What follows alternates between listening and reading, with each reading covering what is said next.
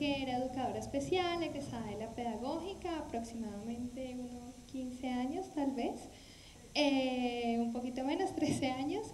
Y eh, quisiera empezar em, pues, eh, el compartir de esta experiencia contándoles algo que es muy significativo para mí y es que yo me enamoré del teatro en la Universidad Pedagógica, en el grupo de teatro Torreón. Supongo que todavía existe, todavía está bueno. Cuando yo entré como primí para la universidad, pues con las ganas de participar en todas las actividades de bienestar, eh, me inscribí desde primer semestre al grupo de teatro de la pedagógica. En esa época todavía no existía la licenciatura en artes escénicas, pero se venía hablando y se venía cocinando eh, sobre ese ejercicio pedagógico y esa herramienta pedagógica que eran las artes escénicas, específicamente el teatro, para nosotros como docentes. Cuando yo entro a mi primer semestre de educación especial y de manera paralela al grupo de teatro, me encuentro con Miguel Alfonso Peña, que tengo entendido que hoy es eh, decano de la Facultad de Artes Escénicas, quien desde ese ejercicio eh, pedagógico que iniciamos a hacer se creó y se desarrolló la licenciatura hoy en día de Artes Escénicas. La primera invitación que nos hizo a nosotros, los estudiantes de docencia de diferentes áreas, porque tenía compañeros de biología, física, eh, lenguas, educación física, nos hizo la invitación a ver ese espacio como un complemento a la formación que nosotros estábamos realizando en cada una de nuestras áreas como docentes para utilizar el cuerpo como una herramienta pedagógica y tener un valor adicional, un extra en nuestro proceso formativo y una herramienta muy particular como era el teatro. Y debo decir que para mí fue una gran, gran experiencia porque después de ese recorrido que hice paralelo, como estudiante de la licenciatura de Educación Especial, más mi participación en el grupo de teatro, me permitió formar un discurso paralelo al que venía formando en la educación especial. Y adicionalmente, em, una vez cuando me quise graduar o cuando me gradué del programa de la licenciatura, mi proyecto de grado en ese momento fue en teatro y discapacidad cognitiva no recuerdo muy bien cómo era el nombre del proyecto. Em, les comentaba hace un mes que fue bastante difícil en ese momento poner el tema eh, en discusión. No había una persona en ese momento en la licenciatura que me lo pudiera orientar.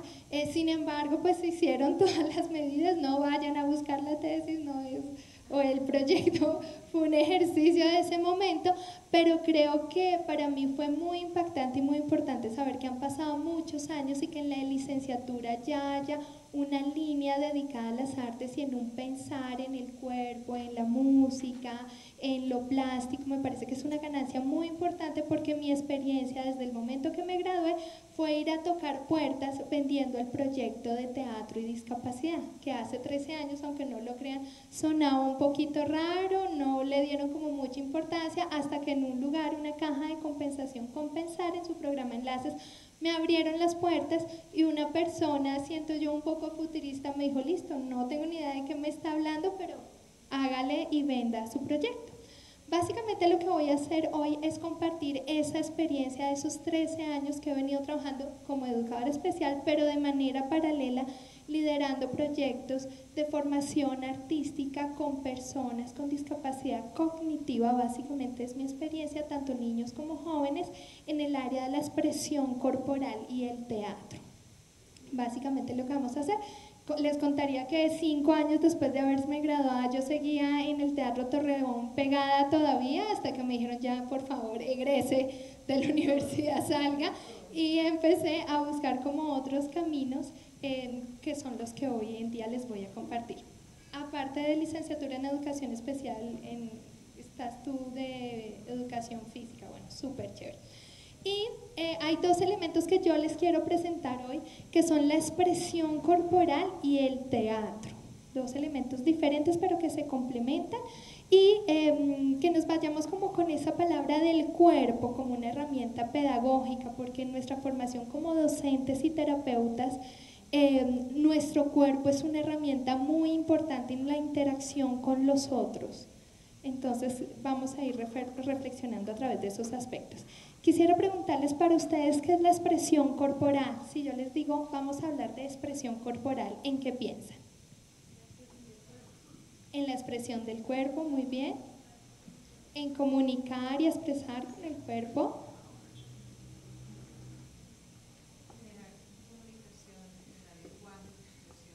Lenguajes de expresión. Las manifestaciones a través del cuerpo. Cómo nos comportamos con el cuerpo, eso es muy, muy importante. Hay una definición como muy general o un concepto muy general que hace referencia al hecho de que todo ser humano de manera consciente o inconsciente, intencionalmente o no, se manifiesta a través del cuerpo. Como nos dice aquí Alejandra, es ese famoso lenguaje corporal, como sabemos nosotros, Em, más del 70% de lo que comunicamos lo comunicamos es a través del cuerpo, ¿no?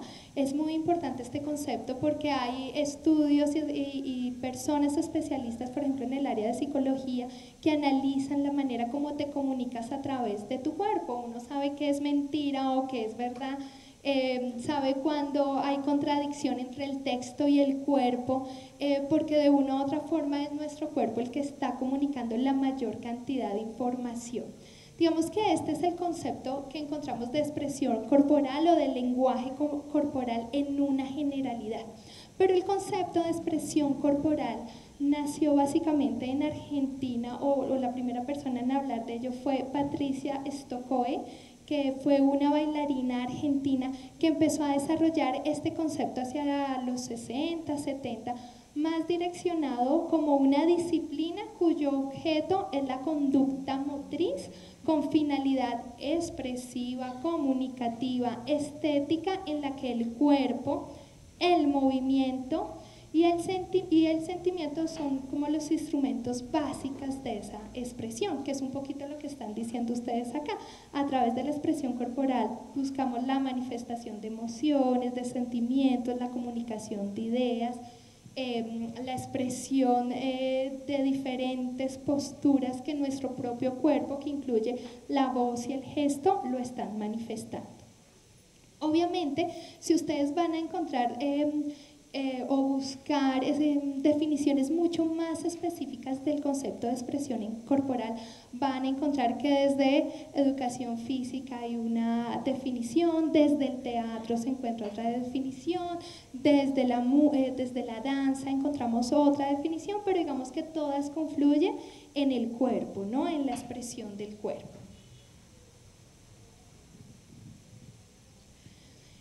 Es importante tener en cuenta que em, la expresión corporal, o por lo menos en mi experiencia, aborda diferentes temáticas.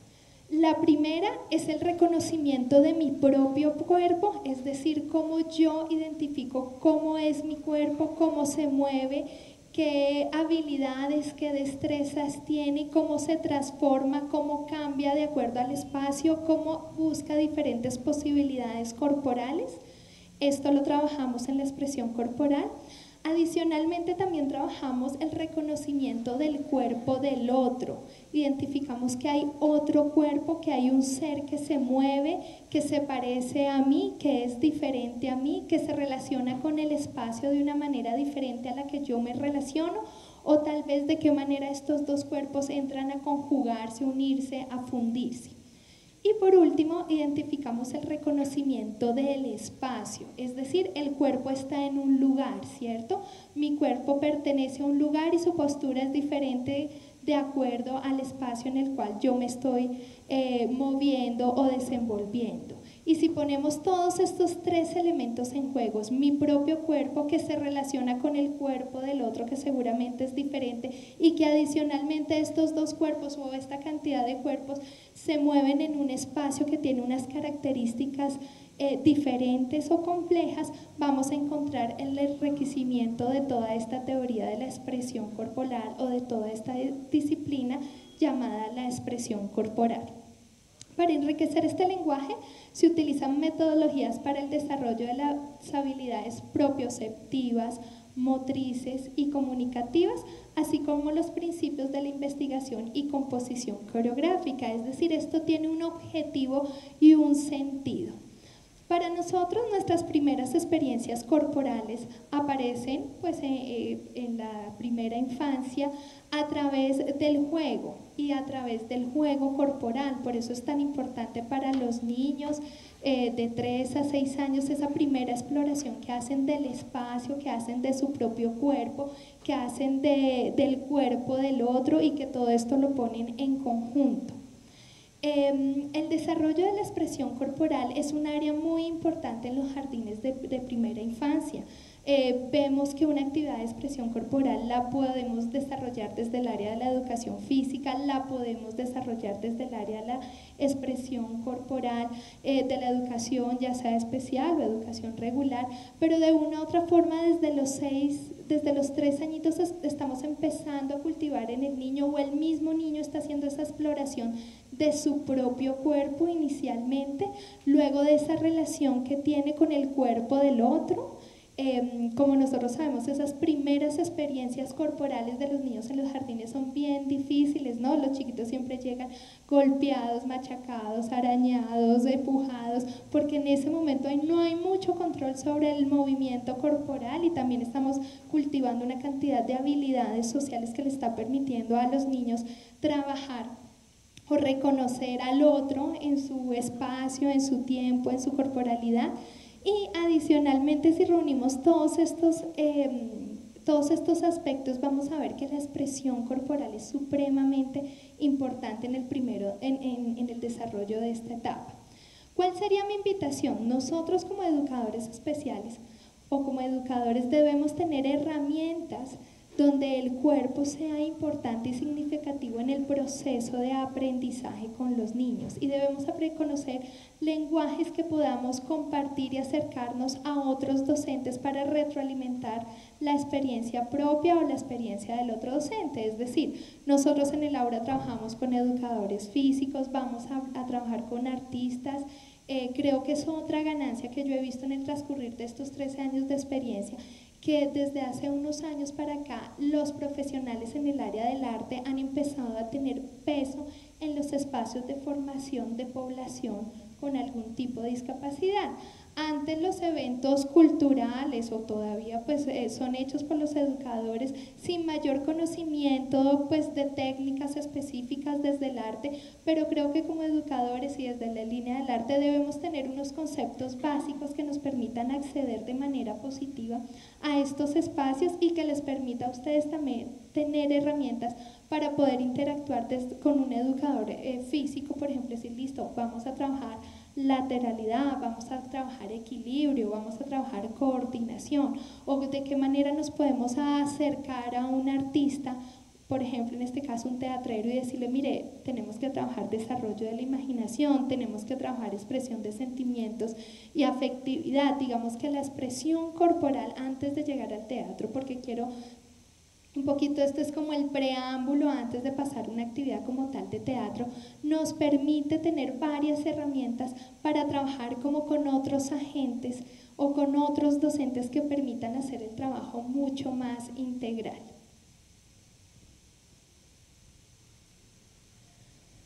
¿Cuáles son las características de las actividades de expresión corporal? Sin hablar todavía de teatro, porque ustedes saben que dentro de las eh, artes escénicas, que es como la base de la expresión corporal de las artes escénicas, encontramos la danza y el teatro y alrededor o en el interior de cada una de ellas van a encontrar una cantidad de subdivisiones que digamos que en este momento no sería como la idea entrar a hablar de ellas.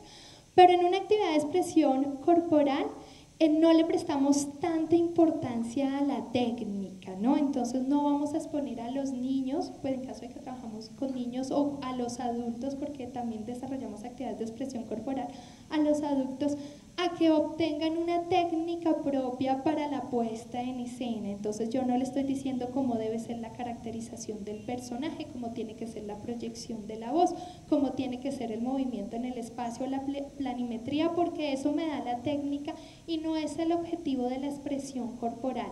Lo que buscamos en la expresión corporal a través de sus actividades es que haya una exploración de su propio cuerpo, del cuerpo del otro y del espacio. Y voy a seguir insistiendo como en esos tres factores para que los vayamos interiorizando.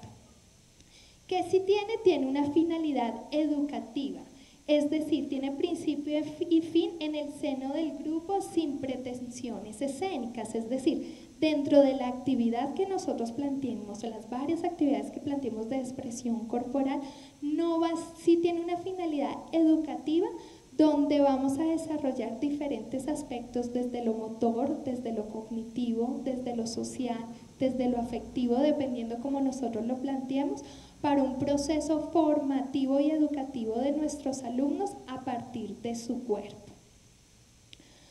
Eh, no, en el trabajo de expresión corporal no es tan importante el resultado final, es decir, si estamos haciendo un ejercicio de expresión corporal, a mí no me interesa que la improvisación o que la pequeña puesta en escena que hicimos del cuento salga perfecta o salga maravillosa, estamos hablando de los ejercicios de clase como tal, esa no es la finalidad, no tenemos que un resultado escénico perfecto, sino que lo que queremos es que haya una vivencia de nuestros alumnos de esta experiencia.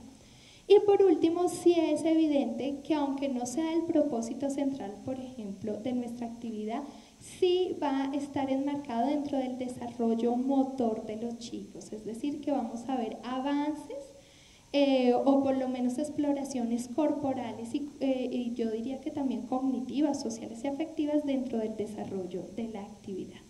¿Hay alguna pregunta hasta el momento? ¿Mucha carreta?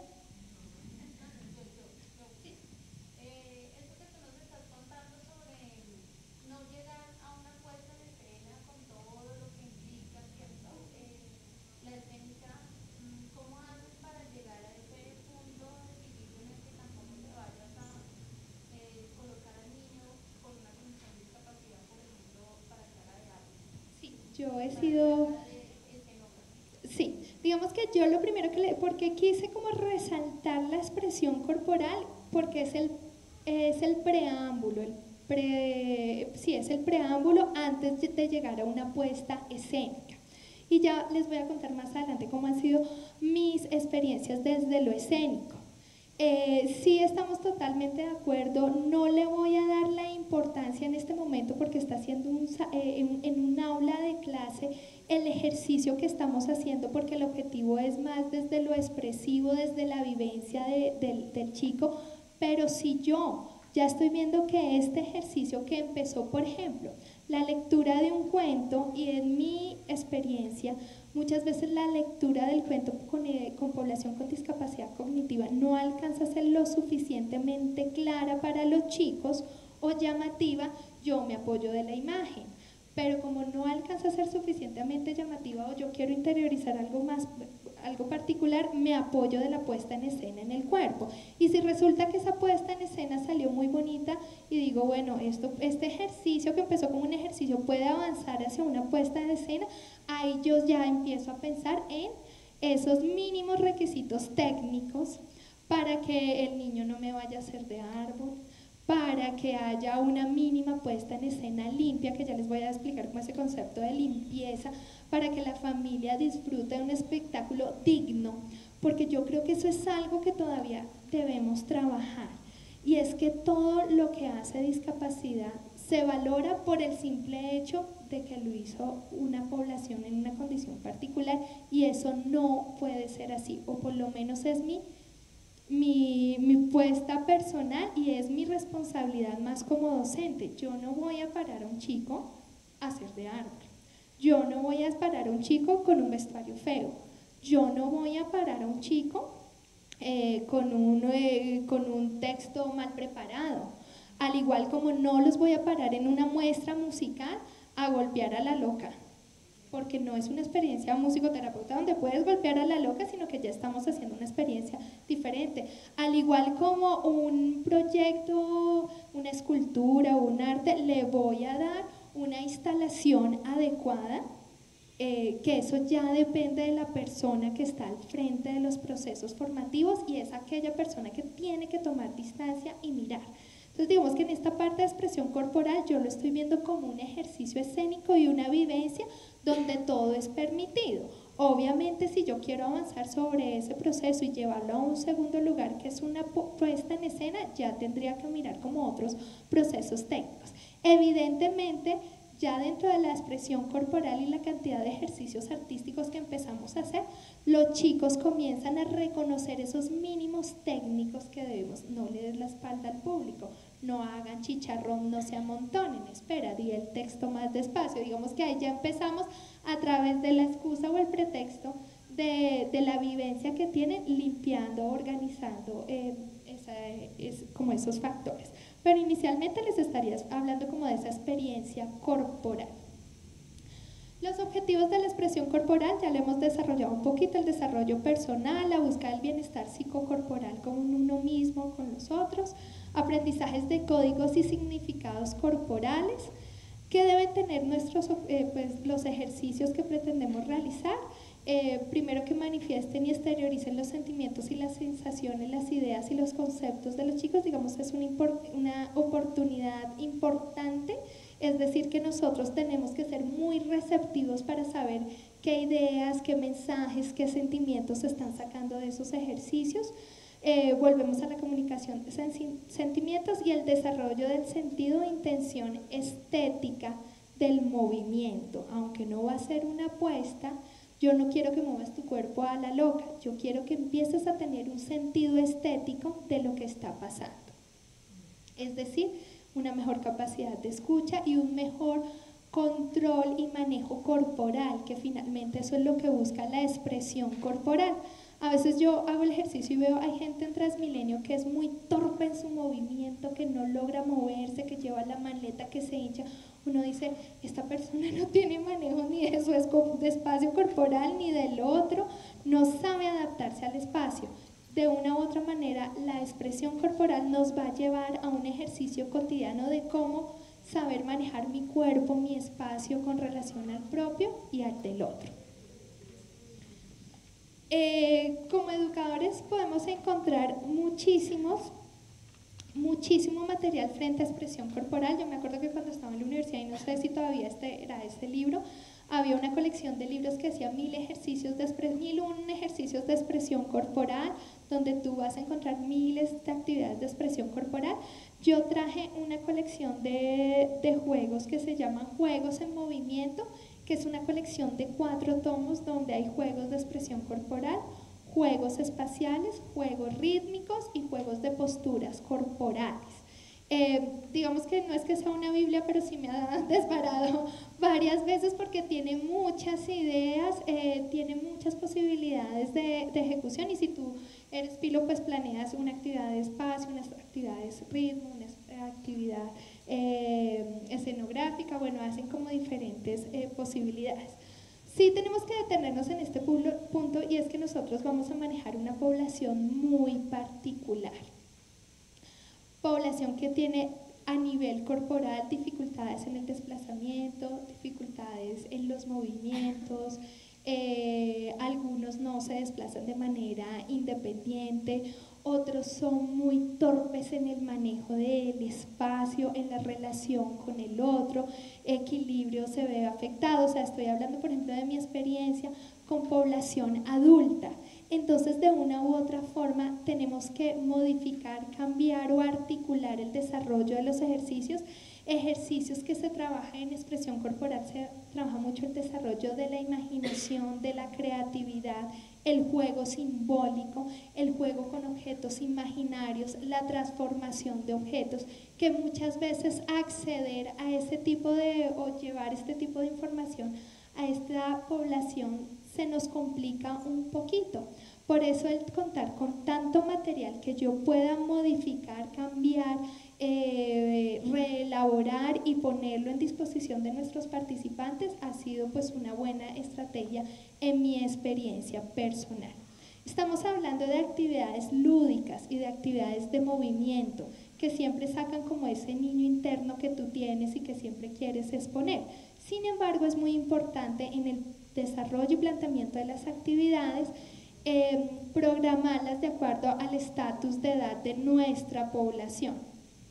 Entonces, no es lo mismo la actividad de expresión corporal que yo puedo realizar con un niño de 3 o 4 años, así tenga discapacidad cognitiva, a la actividad que yo voy a programar con el adulto o con el joven que también tiene discapacidad cognitiva, pero que estamos hablando de un estatus de edad diferente. Digamos, es un poquito lo vamos a aterrizar en unos ejercicios que al final de, de la parte teórica vamos, vamos a hacer.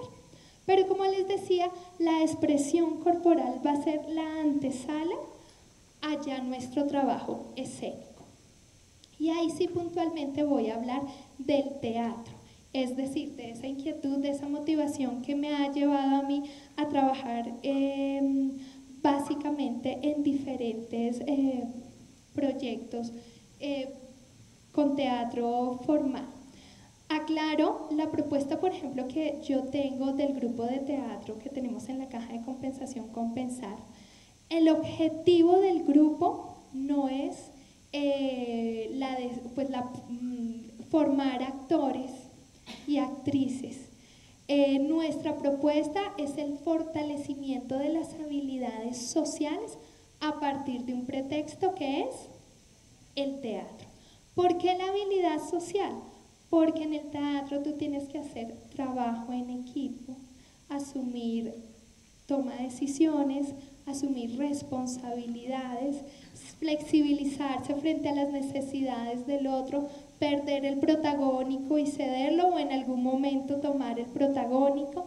Entonces, nuestro grupo de teatro, que más o menos lleva seis años trabajando conmigo, eh, aunque sí trabajamos la parte técnica, aunque sí en el desarrollo de las actividades los chicos van ganando esa formación en este punto, yo me atrevería a decir actoral y tener eh, claras ciertas técnicas que tenemos que tener en la puesta en escena, nuestro objetivo final es el fortalecimiento de sus habilidades sociales. Y algo para mí que he identificado muy importante es que les da un sentido de pertenencia a lo que están haciendo. Nuestra experiencia con los adultos es que muchas veces ya han terminado sus procesos, estoy hablando de adultos con discapacidad cognitiva, han terminado sus procesos escolares, han terminado sus procesos eh, terapéuticos llegan hacia los 18 años eh, terminando estos procesos, dice uno, muy jóvenes y no saben los papás ni los chicos qué ponerlos a hacer.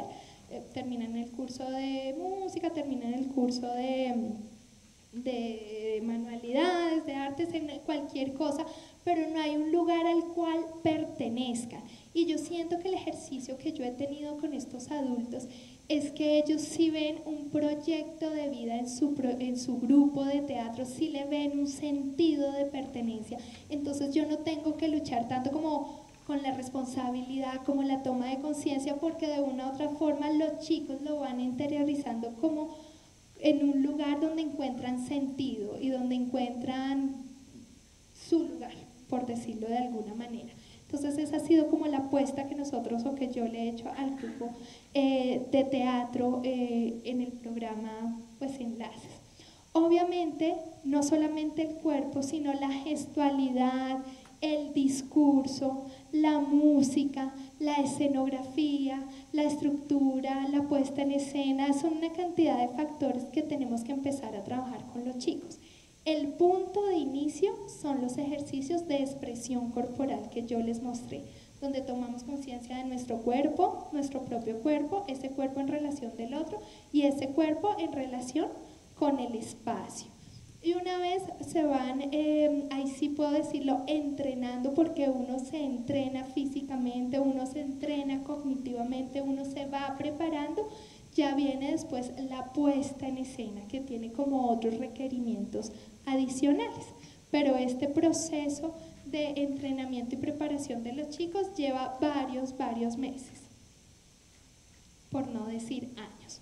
Les voy a contar más o menos cómo es una estructura eh, en la formación actoral de, de nuestros chicos. Mm, teniendo en cuenta que es una actividad que dura un, que tiene una intensidad de una vez a la semana con una duración de seis horas aproximadamente en la semana. Es decir, si ustedes ven, tampoco es una intensidad muy, muy alta, pero la del día, en ese único día que van, sí tiene gran intensidad. Empezamos con un calentamiento corporal y ahorita les voy a dar varios ejemplos de calentamiento corporal. No es lo mismo hacer un calentamiento con un niño donde tú puedes eh, eh, realizar canción, jugar con canciones o imitación de diferentes posturas a las que nos invitan las canciones Ya en el caso de los adultos hacemos un calentamiento más de rotación articular. Es importante para mí la segmentación corporal, que en el caso de nuestros chicos también se ve muy comprometido. Entonces empezar un buen calentamiento haciendo segmentación corporal, bailando. Para mí es importante la música en el desarrollo de las actividades de expresión corporal o de teatro porque motivan a la gente a participar de pronto el que es muy tronquito, el que no le gusta tanto bailar o exponerse a través de la música, se genera un ambiente un poquito más motivador. Luego pasamos hacer diferentes actividades de juegos de expresión corporal. Pues yo aquí los enumeré, podemos hacer juegos de espacio, eh, juegos de exploración rítmica, juegos de movimiento, pero obviamente no es necesario que yo haga los tres en la misma actividad, los vamos variando de acuerdo a la necesidad. Luego hacemos actividades preteatrales o teatrales, que ya estarían muchísimo más dirigidos al montaje que yo voy a hacer y los ejercicios ya en ese momento están dirigidos específicamente a la puesta en escena del montaje. Qué sé yo, que si vamos a hacer de viejitos, pues hacemos una si hay un viejito, una princesa, un sapo en el cuento, bueno, estoy inventando cosas. Esos juegos preteatrales van a estar dirigidos hacer la caracterización de esos personajes, a trabajar el espacio o el lugar donde se desarrollan esos personajes, a trabajar la parte emocional de los personajes. Em, si ya estamos en el montaje escénico, se van estructurando y realizando las escenas particulares de la obra si ya se ha escogido el texto y al final hacemos un cierre o una retroalimentación pero vamos a hablar puntualmente de cómo son las actividades propias de un montaje teatral. Pues como ya les decía, el calentamiento sí es una actividad súper importante donde vamos a trabajar, digamos que los calentamientos también son muy lúdicos y son de juego y e, en el juego es donde encuentran los mejores ejercicios de improvisación, especialmente en esta población que cuando les pido que improvisen, a veces es muy difícil porque requiere de una agilidad mental y una respuesta y una resolución inmediata. Es tan difícil, muchas veces lo que hacemos es jugar y a partir de lo que me proponen los chicos de manera espontánea en el juego, yo, me, yo tomo esos elementos para después resaltárselos y hacer caer en cuenta eh, durante el desarrollo de, ya del montaje como tal. Por supuesto necesitamos ampliar la resistencia física, la respuesta, la atención, estar alerta es muy importante, los procesos de concentración y trabajar mucho lo que es trabajo en equipo. Yo a ellos les repito mucho, no es una persona la que se va a subir al escenario, somos varios y si vamos articulados, si alguno falla, pues los otros deben estar ahí para respaldarlo, para acompañarlo o para resolver la situación que se debía eh, resolver. Después del calentamiento viene una fase como de, de, toda la parte de expresión corporal que ya la hablamos, pero específicamente en el desarrollo lo preteatral venimos con juegos de improvisación. Otra de las dificultades que me, yo he encontrado con la población es que eh, tenemos muchas dificultades en la parte del lenguaje no solamente en la parte de pronunciación, de proyección, sino lo que les venía diciendo antes, de respuesta, de atención, de resolución, que es lo que nos demandan los juegos de improvisación. Muchísimas veces es muy complicado o sentarlos a, a que armen historias desde lo verbal, se limita muchísimo la actividad. Por eso prefiero el desarrollo más desde lo corporal. Digamos que mis puestas en escenas las mías en, lo personal, tienen un peso más desde lo corporal que desde lo gestual. Se acercan más a una propuesta clown, sin ser tan clown, pero sí más peso desde lo gestual y lo corporal que desde lo mismo verbal, porque la memorización de un texto muchas veces es complejo. Pero digamos que lo tenemos que compensar a través del cuerpo. Y por supuesto, todos los juegos de improvisación corporal nos van a llevar al desarrollo de la imaginación y de la creatividad. ¿Mucha carreta? Voy a ir rápido para que entremos a la parte más ejecutiva. Em, también hay que hacer un acercamiento al texto dramático y eso para mí ha sido un gran reto. Eh, por lo que les decía un poquito, el escoger textos eh, que se deban contar desde lo corporal. No sé si soy clara. Mm, ¿Qué tipo de propuestas he hecho yo? Unas las he creado yo, es decir, el texto lo he puesto yo pensando en imágenes. Es decir, yo no pienso en el texto, en la situación, sino yo pongo a mis chicos en imágenes. Hagan de cuenta, cine mudo, ¿han visto cine mudo? Charles Chaplin, Buster Keaton, digamos, ese es un ejercicio muy importante para mí, ponerles a los chicos eh, películas, cine mudo, me gusta mucho Buster Keaton porque me parece que tiene, eh, logra recrear con el cuerpo situaciones muy importantes, entonces yo hago mi puesta en escena a través de imágenes y los conflictos, porque ustedes saben que el teatro es la solución de conflictos o la puesta de un conflicto, entonces yo pienso es en imágenes, yo me imagino un lugar donde está cayendo lluvia y hay unas sombrillas, yo me imagino un lugar donde hay una puerta abierta o hay una silla en un parque.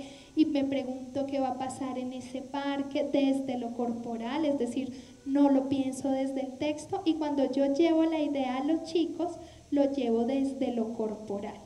Ese primer momento de contarle la historia a los chicos debe ser muy importante porque me he dado cuenta con ellos que muchas veces yo hago puestas en escenas, lo marco físicamente, es decir, vas a entrar, caminas, te sientas, abres una revista y llega un amigo contigo. Y lo, lo hago yo, lo repito varias veces y después yo veo que los chicos lo imitan exactamente igual como yo lo hice. Cuando yo entro a preguntarles qué pasa en el lugar, en la situación, muchos no me saben responder y era un error que yo estaba cometiendo porque me estaba dando cuenta que no estaba siendo clara la situación o la historia para el chico. Y eso me llevaba a tener que sentarlo nuevamente y que ellos analizaran y me contaran qué era lo que estaba pasando. Porque para muchos de ellos la caracterización del personaje no solamente desde lo físico, sino desde lo emocional es mucho más importante, le da mayor sentido. Entonces, ¿qué está pasando ahí? ¿Qué estás sintiendo? ¿Estás sintiendo miedo? ¿Estás sintiendo, ah, entonces cómo es la cara de miedo? ¿Cómo tiene que ser tu cuerpo? ¿Cómo se transforma? Entonces, era muy difícil como la vinculación del texto de la historia a lo que estaba pasando. Otra manera como he recreado el texto es sí cogiendo historias normales, llevándolas a la puesta escénica desde lo físico, es decir, lo cuentas desde lo físico, pero habían pedazos del texto que requerían una explicación. Tenía chicos o tengo chicos que sí pueden eh, mantenerte o sostenerte un texto, pero la mayoría no lo hacen. Entonces, ¿qué hago? Introduzco una voz en off, la voz del narrador que entra a compensar esos espacios donde no tengo cómo explicarle al público qué es lo que está pasando. Y por último, y esta es una apuesta que debo confesar que hasta este año lo he empezado a hacer, es sí empezar a retar más a los chicos en los procesos de memorización de los textos. Entonces hay chicos, eh, por ejemplo en este momento tengo el caso de un autista muy funcional que logra memorizarme al pie de la letra todo el paquete que yo le entrego, pero no logra resolverme durante el desarrollo de la acción. Entonces, si alguna de las palabras que él se aprendió de memoria le falla, no, no tiene todavía la capacidad de improvisar. Yo le digo, no te pegues al texto, que tú sabes qué es lo que está pasando ahí. Y he empezado a hacer el ejercicio de entregarle a los chicos eh, pequeños textos, donde les pido que no es necesario que me lo digan de manera textual, sino que saben qué situación está pasando, que lances la primera palabra que se te viene o el argumento que se te viene. Es un ejercicio que yo me había negado un poco a hacer porque mis experiencias anteriores no me habían dado buenos resultados, pero que hoy en día me estoy dando cuenta que hay chicos a los cuales yo sí les puedo delegar esa responsabilidad de decir pequeños textos y que al igual como la partitura física se la aprenden repitiendo, repitiendo, repitiendo, el texto también se lo van aprendiendo a través de la repetición. Eh, el trabajo de la voz es muy complicado porque una cosa es aprenderse el texto, pero otra cosa es decirlo con proyección, decirlo de manera clara y decirlo con intención. El preámbulo que yo hago para trabajar voz con los chicos es cantar y cantar, yo me inclino un poquito como por los pregones, por frases repetitivas que tienen que repetir una y otra vez y me parece que es un buen ejercicio como para entrar en el proceso de voz. Y por último viene el montaje final, que como lo hablábamos desde el comienzo, una cosa es la puesta en escena con los muchachos y otra muy diferente es ya llevarlo a un montaje final que tiene grandes retos. Los educadores siempre pensamos primero en el vestuario, en el maquillaje y en la escenografía y no empezamos por donde deberíamos empezar, que es la puesta en escena corporal de los chicos, la partitura física, los textos. Luego vamos incluyendo o haciendo la introducción de los elementos que sean estrictamente necesarios. Y ahí sí quiero decir que esta es una postura muy personal.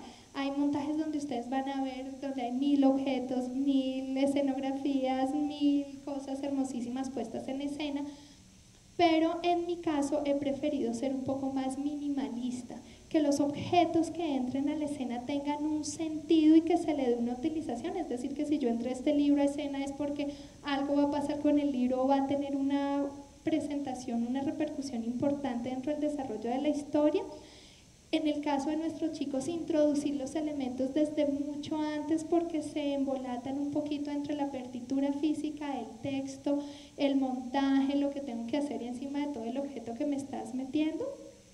Y lo último que generalmente está llegando es el vestuario, que también es muy importante que se lo midan porque no es lo mismo caminar con estos zapatos, otros zapatos, resulta que me agacho y tenía un faldón, resulta que el sombrero se cayó, entonces eso es muy importante y eh, y si lo puedes ensayar desde antes y por último el vestuario.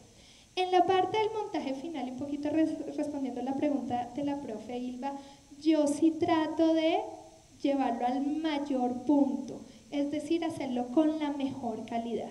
Entonces, para el vestuario tengo la persona especializada que viene trabajando hace seis años conmigo, que va y me toma las medidas, hablamos de la obra, alcanza a ver el ensayo de ese día, se lleva una imagen, le llevo imágenes de fotografías o le hago dibujos, donde ella me va a diseñar el vestuario de acuerdo a la necesidad de la obra. Y no se escatiman ahí sí recursos en que el vestuario quede muy bonito de acuerdo a la necesidad que tenemos. En cuanto a la utilización de los objetos, prefiero hacer la introducción de objetos grandes, llamativos y significativos y no llenarse de tanta cosita pequeña. Por más que no lo quieras, siempre terminas con mil cosas en la puesta en escena. El maquillaje también se hace pruebas de maquillaje con anterioridad, maquillaje llamativo, bonito, de buena calidad. Y por último, y que ha sido una lucha que no he logrado todavía em, ganar, es lograr llevarlos a un escenario adecuado. La gente cree que eh, puedes hacer el montaje en, en un salón, en una plazoleta, en un coliseo, y me he encontrado con la sorpresa que cuando trato de explicar, no, yo necesito un espacio más cerradito, yo necesito un espacio con luces, yo necesito un espacio con buen sonido, necesito dos personas apoyándome en el sonido y en el vestuario, pareciera que fueran demasiadas las exigencias para el tipo de trabajo que estoy haciendo que creo yo que ese es el sentido que si vas a preparar, porque les estoy hablando de un montaje que preparamos un año o un poquito más, en el momento de ponerlo en escena yo quisiera que tuviera ese lugar representativo y significativo y ha sido un poquito complicado, pero seguiremos como en la lucha de esto. La música para mí es muy importante en el desarrollo de los montajes precisamente porque a través de la música yo cubro la falencia de lo verbal. Entonces la elección de la música es muy particular, es muy cuidadosa. Eh, yo pruebo la música en la escena con los chicos porque me he encontrado que dependiendo de la música que ellos escuchen, su actitud, su disposición corporal es diferente. Entonces, paralelamente al montaje, yo prácticamente en cada escena estoy buscando la música y ellos me escuchan poniendo, cambiando, llevando, quitando, poniendo diferentes tipos de música que recreen un poquito como la escena, que la ayuden a levantar y a nivel auditivo eh, la música a ellos también les permite reconocer el cambio de escena, las entradas o las salidas. ¿Alguna pregunta hasta el momento? No, se estoy durmiendo.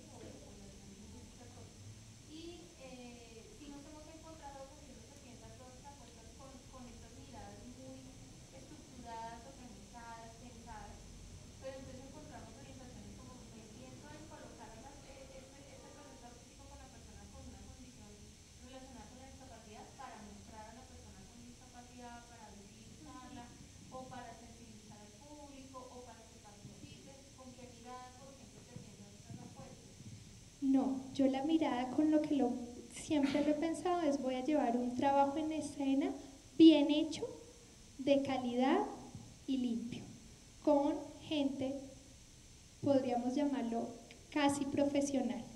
Nunca, evidentemente, he participado, digamos que lamentablemente yo no tengo al estar en una institución, no tengo que el aval de coger a mis chicos y les pongo el teatro y les pongo las luces y les vendo la boletería que pienso yo que debería ser, sino que de una u otra forma sí eh, voy en representación de, la empresa, de, una cantidad de cosas con mis chicos y sí me he encontrado mucho en, en eventos de discapacidad, de instituciones de discapacidad, de instituciones exclusivas, donde la mirada es esa. Todos son premiados, todos lo hicieron bien, todos lo hicieron bonito. Y bueno, quiero, es mi posición y quiero ser respetuosa, pero el nivel de calidad es muy pobre, casi de vergüenza, donde ponen de verdad el árbol y la piedra y el oso, el oso, y yo sí me niego a eso un poquito cuando iniciamos los grupos artísticos, que realmente el que empezó fue teatro, lo primero que yo dije fue, hay que hacer un casting. ¿Cómo así que hay que hacer un casting? Sí, porque yo no pienso que todos los chicos yo los pueda exponer a una puesta en escena que mis puestas en escena la más larga ha sido entre 20 y 25 minutos, que si ustedes se dan cuenta es un tiempo corto y que es muy y que llevo un año preparándolo. Entonces yo empecé de una u otra forma hacer como unos acercamientos a ciertos chicos que querían. Primero tenía en habilidades sociales ver chicos que tuvieran tolerancia a los tiempos de trabajo, a la exigencia, al trabajo en grupo, resistencia física, porque aunque ustedes no lo crean, un chico en el calentamiento ya no quiere continuar. Tolerancia a la repetición, que yo no tengo otro secreto, sino repita, repita, repita, repita, tolerancia al contacto físico con otros, tolerancia a, a desacomodarse físicamente de lo que está acostumbrado y ahí arrancamos el primer grupo. Obviamente hay chicos súper hábiles corporalmente, gestualmente, por ejemplo los chicos síndrome de Down no sé si es un mito, pero en mi experiencia sí son chicos muy expresivos, pero es muy diferente cuando lo pones a bailar o cuando lo pones a expresar de manera libre a cuando lo traigo a una estructura, le digo, aquí tiene que hacer tal cosa. Eso es muy complicado para, para ciertos participantes. Entonces, inicialmente, lo primero que yo hice es, tengo que hacerme responsable de que el proceso que, por el cual van a pasar estos chicos es muy exigente y deben tener ciertas características para llegar a este nivel de exigencia. Luego me empecé a dar cuenta que llegaban chicos solicitándome el ingreso al grupo, que cuando yo les hacía esa primera observación, sobre todo desde lo físico, yo decía, no, Dios mío, es muy difícil, pero era tanta las ganas del chico por estar en el grupo que se ganaba su puesto. Es decir, listo, puedes ingresar, pero porque te veo que te estás esforzando, porque le vas a meter las ganas, y empiezo yo, ahí sí es mi responsabilidad. Em, resolver su condición física, es decir, yo a veces les digo, se paran ahí, parecen dos bojotes, no se mueven, son muy grandes, son muy pesados. Yo, al poner al chico y al darle eh, el ingreso al grupo, tengo que mirar de qué manera puedo transformar ese cuerpo o ese cuerpo en esa condición puede servir para el propósito del montaje, ¿sí? O sea, si eres grande, pesado, fuerte, pues no te voy a poner de niño, o sea, ese no va a ser el... Hubo casos donde a un chico hasta lo senté en silla de ruedas y lo hice de viejito porque ya no sabía cómo más trabajar su cuerpo porque era mi responsabilidad, vuelvo y lo repito, si yo tengo 12 chicos, a los 12 los pongo en el escenario, los 12 tienen importancia, o sea, siempre va a haber alguien que seguramente tenga el protagónico, pero ninguno va a ser de árbol, o sea, todos van a tener cierta participación dentro del proceso y la mirada lastimera no la quiero, no la quiero tener. Obviamente siempre está el comentario, no puede ser chicos con discapacidad cognitiva, pero lo más bonito es que ven un trabajo limpio, ven un trabajo decente, ven los ven a ellos solos en escena, pues sí, obviamente yo tras bambalinas jalándome los pelos, dando las últimas indicaciones, pero es un trabajo independiente de ellos y yo sí pienso que en eso como educadores y sobre todo si queremos impactar socialmente, tenemos que romper esos mitos de que tan bonito, que tan mediocre el trabajo. Y yo sí creería que hay una gran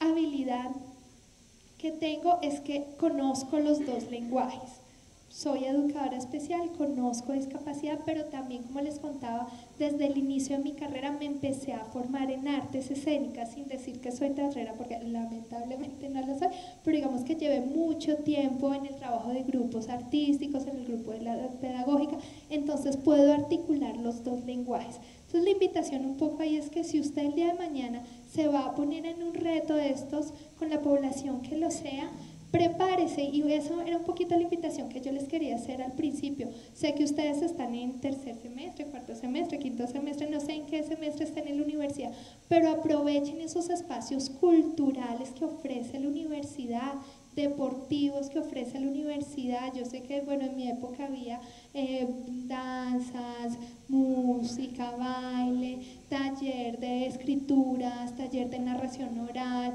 eh, en deportes teníamos patinaje, piscina, bueno, una cantidad de cosas que si yo como educador especial tengo otra herramienta con la cual puedo trabajar, va a ser un trabajo muchísimo más enriquecedor.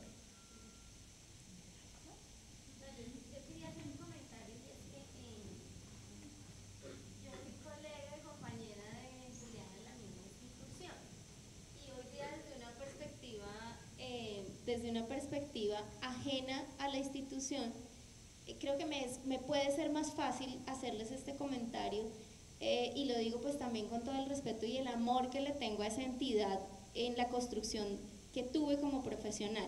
Y es que cuando la profe Ilva les hace la pregunta alrededor de cuál es la apuesta de ese sujeto cuando lo ponemos en escena, pienso que también no está lejano de una realidad que ustedes conocen y de unas tensiones que tiene nuestra licenciatura alrededor de los imaginarios sociales.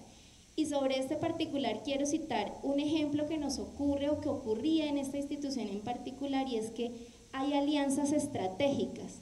Entonces una caja de compensación como Compensar tiene una alianza estratégica con una organización como Fides. Y más allá de las apuestas que como profesionales en un lugar que es mi lugar, que es mi aula y que es mi espacio de mis cuatro paredes con mis estudiantes, con mis chicos, con mis participantes, como lo queramos llamar, hay unas tensiones, pero que esas tensiones se vuelven hacia afuera, alrededor de los imaginarios sociales de los que estamos, y sé que ustedes han sido también muy críticos como estudiantes, pues igual están ahí, es nuestra realidad también y es nuestra eh, realidad, digámoslo, desde mi punto de vista también social, de cómo se está posicionando eso. Entonces, en esa alianza estratégica, ¿yo qué, qué puedo hacer? ¿Sí? Puedo hacer algunas apuestas y puedo hacer algunas apuestas, como lo dice Juliana, por la calidad y por hacer un trabajo limpio y por hacer un trabajo respetuoso y por hacer un trabajo continuo y constante. Pero igual me van a invitar a unas Olimpiadas Fides igual me van a invitar en esas Olimpiadas Fides a presentar una obra antes o después del colegio, cualquiera colegio, que pone al chico con el árbol. ¿sí? Entonces fíjense que la apuesta es de alguna manera seguir haciendo un impacto fuerte y desde mi perspectiva creo que, también la invitación a que, a que escuchen este tipo de ideas es que uno hace un impacto fuerte también desde allí. ¿sí? Que no sea tan visible y que siga siendo una resistencia de pronto sutil o de, o de pronto sí más intensiva sobre esas otras miradas y sobre cómo estamos rompiendo con esos imaginarios a, partir de una apuesta, como lo dice Juliana, impecable, limpia, profesional, pues de todas formas está esa realidad afuera, ¿sí? De todas formas ocurre, de todas formas nos invitan con eh, un sinnúmero de instituciones y es una o dos las que tienen estas otras apuestas. Entonces quería dejarles esa reflexión porque me parece que también hay que hablarlo de cómo es y de cómo ocurre, también desde una perspectiva institucional. Yo solo cierro lo que dice Paula, si es cierto lo que dice Paula, uno impacta es con el ejemplo, uno impacta con la puesta en escena, o sea, yo no tengo que dar discurso si lo que están viendo las otras personas es supremamente llamativo y bonito y bien hecho.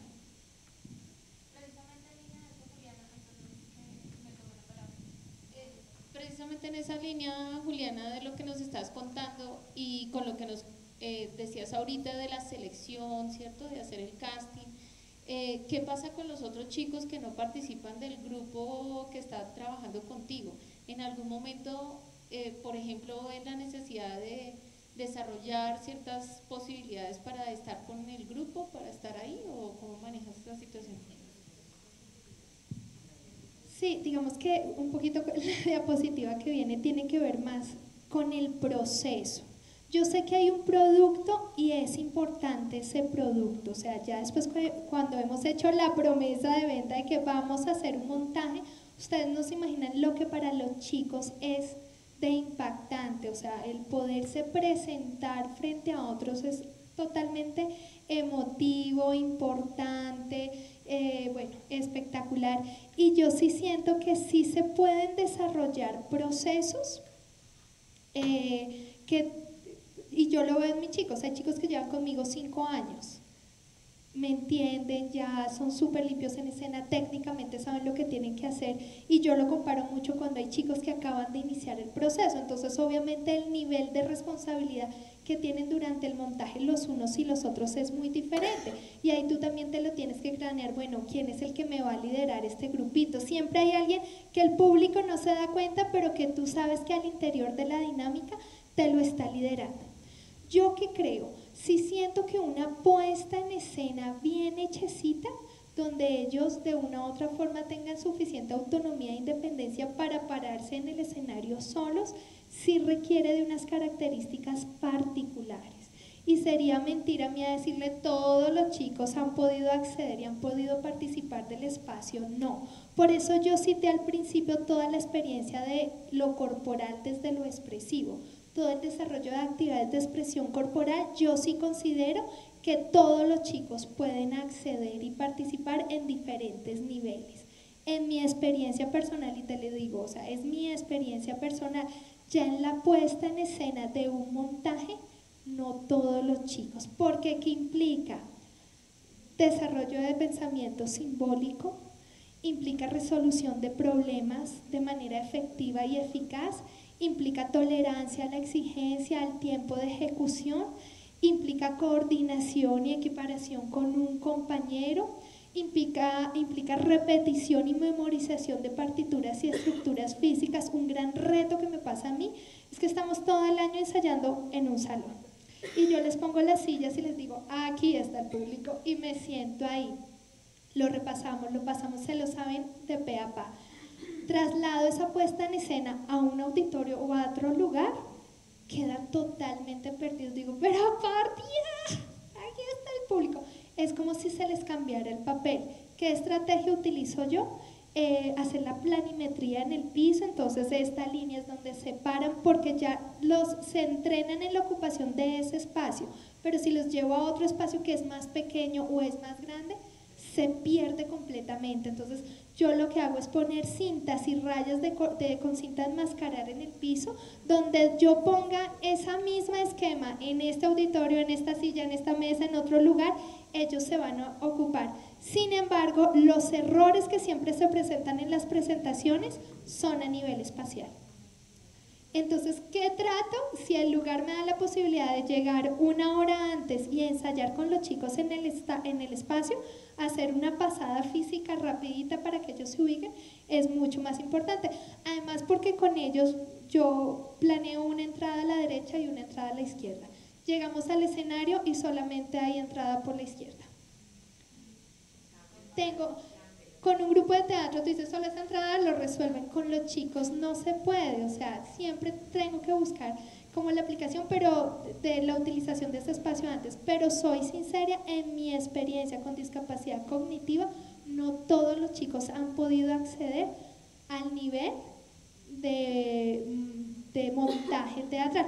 Obviamente, como les digo, hay unas características particulares, el ensayo solamente es una vez a la semana, tiene una intensidad de seis horas, o sea, no hay, hay chicos que no me aguantan la intensidad de las seis horas. Entonces, no sé si en otras condiciones, en otro tipo de propuesta, en una intensidad tal vez más corta, pero más llamativa, todos los chicos pudieran eh, acceder.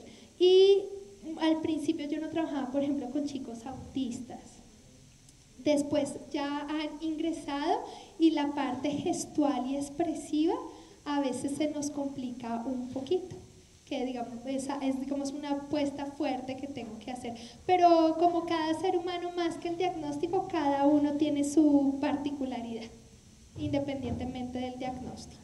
Pero por eso yo rescataba más la parte de expresión corporal, que creo que ahí sí tenemos mucho que hacer.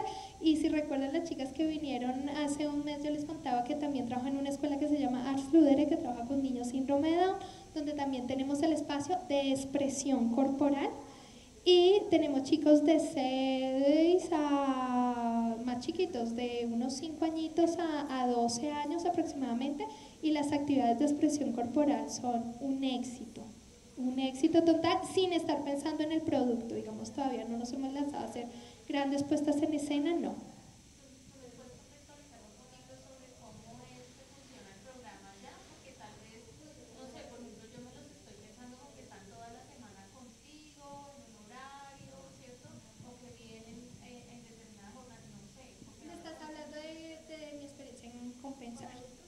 con adultos o en la escuela. Bueno, las dos les voy a contar. Bueno, Compensar es una caja de compensación em, que ha destinado recursos de ley 115 a un programa que se llama Enlaces, parte de esos recursos. No todas las cajas de compensación tienen programas con población con discapacidad. Compensar ha decidido que parte de esos recursos sí se la quería invertir a este tipo de población. Tenemos población de los 6 a los 55 años con discapacidad cognitiva. Los tenemos organizados de acuerdo a la edad cronológica de los chicos, es decir, niños y jóvenes, más o menos de 6 a los 18 años, les ofrecemos un servicio los sábados como actividad complementaria precisamente porque lo que les decía, los niños y los jóvenes todavía están en su proceso terapéutico, todavía están en su proceso escolar, entonces esta es una actividad que entra a complementar el desarrollo o el fortalecimiento de sus habilidades sociales a través de actividades recreativas y muchas de ellas artísticas, desarrolladas por educadores, no artistas, sino educadores especiales o otro tipo de educadores. Ellos solamente van los sábados en la jornada de la mañana a su actividad recreativa. Sin embargo, el grueso de la población son los adultos. ¿Por qué? Por lo que les contaba, a los 18 años, increíblemente, encontramos chicos que ya terminaron su proceso escolar, que ya terminaron sus terapias a los 12 años, 15 años, les están diciendo en los centros de terapia, hasta aquí llegamos papás, terminan sus colegios, son muy poquitos los que en este momento están accediendo a procesos de inclusión laboral porque evidentemente tiene unas características muy particulares y terminan los chicos en la casa. El programa Enlaces le hizo la apuesta a estos jóvenes y adultos mayores de 18 a 55 años que vengan a las instalaciones del CURE Compensar a realizar actividades de tipo recreativo y formativo para el fortalecimiento de sus habilidades sociales. Tienen piscina, deportes, manualidades y otras actividades que las denominamos habilidades para la vida. Trabajamos la comunicación, el manejo de emociones, la empatía, la toma de decisiones, solución de problemas cotidianos. Bueno, adicionalmente de esa propuesta que tienen todos los chicos, se han establecido tres grupos artísticos, cuatro grupos artísticos. El de teatro, el de música, el de artes plásticas. Eh, ¿Cuál se me escapa? El teatro, música, artes plásticas y danzas. Entonces, ¿qué hicimos? En ese grueso de población, que son más o menos 300, eh, 260 participantes, dijimos, vamos a mirar qué chicos tienen habilidades en cada una de estas áreas. Por eso los convocamos, los llamamos, pasan por ese famoso casting o prueba de observación que les digo, y de acuerdo al interés y las capacidades de los chicos, porque hay chicos que son muy hábiles desde el teatro, desde lo corporal, pero me dicen, no me interesa estar en teatro, no tiene sentido que yo lo tenga pasan a participar al grupo, eh, al grupo artístico. Por eso yo les digo que solamente los tengo un día a la semana, porque de los tres días que van al programa, los otros tienen sus actividades del programa y uno solo conmigo. Es decir, no es una escuela de formación artística que sé que hay algunas escuelas de teatro que están haciendo la apertura. Eh, hace un mes les contaba que ya hay muchos lugares que hicieron la inclusión de la música eh, hay otros lugares eh, que han empezado escuelas de artes con inclusión de la parte artística, con las danzas siempre ha sido muy motivante, pero con el teatro hasta ahora se está empezando como a abrir la, la puertica.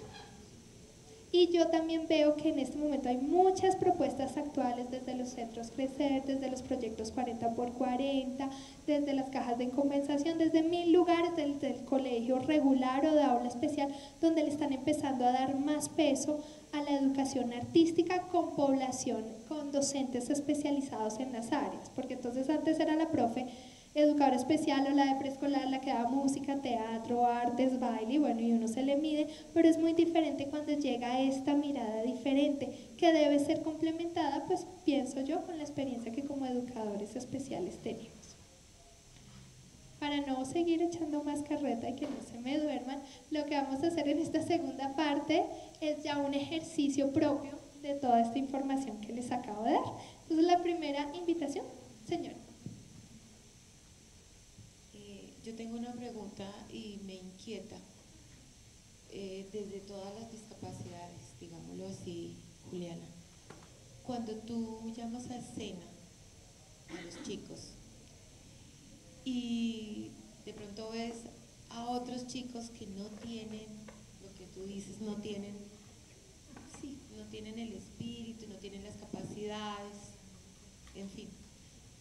Pero yo me pongo en el caso de que yo no tenga esas capacidades, pero yo pueda de pronto colaborarte y ser partícipe en tu escenario, o ayudar con el micrófono, o colaborar en, lo que es la puesta en escena, no solamente la parte del teatro, sino la escenografía, las luces, el sonido, el vestuario, eh, hay personas que tienen esas facilidades y no tienen la facilidad corporal o no se pueden expresar de la misma manera como podemos tener otros la posibilidad de hacerlo. ¿Qué haces ahí? O sea, ¿qué, o qué debemos hacer? Yo, yo me inquieto en ese sentido porque eh, yo he tenido grupos de estudiantes en expresión cuerpo y movimiento que terminan haciendo una puesta en escena. Y, mi, mi, proyecto, no, mi, objetivo es que primero nos quitemos el miedo a, a pararnos en escena. Porque es lo mismo que tú estás haciendo en este momento, pararte en escena enfrentarte a un público A, B, C o Y con la experiencia que tú tengas. Entonces, la idea de, quinto semestre, en especial que es expresión cuerpo y movimiento, es que ellas creen una puesta en escena creada por ellas. A mí no me importa la verdad en qué condiciones lo hacen, pero desde que sea creada por ellas, mm, que día hace dos semestres hicimos una, o hicieron ellas una puesta en escena un poco fuerte, eh, de, de, pronto de la vida de los bares, de las mujeres, de, de toda esa o sea, con relación también a su carrera. Eh, hay unas que son demasiado tímidas, pero entonces de pronto buscaron que su cuerpo se puede mover y que podemos barrer el bar, recoger las mesas, ¿sí? O sea, es una forma de actuar, es una forma de participar. Y no se quedan sentadas porque yo no quiero participar. No, yo pensaría que ahí tendríamos que o sea, yo quisiera una respuesta de parte tuya que tienes esas yo lo que les diría es que siento que como educadora y como terapeuta, digamos en la parte de musicoterapia, de musicoterapia me lo insistieron mucho, nosotros como formadores sí debemos tener conciencia de la importancia de nuestro propio cuerpo. Y es una herramienta que tenemos y que debemos trabajar. Sí, evidentemente unos somos más expresivos, otros somos más tímidos, otros se mueven con mayor fluidez, otros somos más tronquitos. Hay diferentes características que precisamente vamos a encontrar en este tipo de población con la que trabajamos.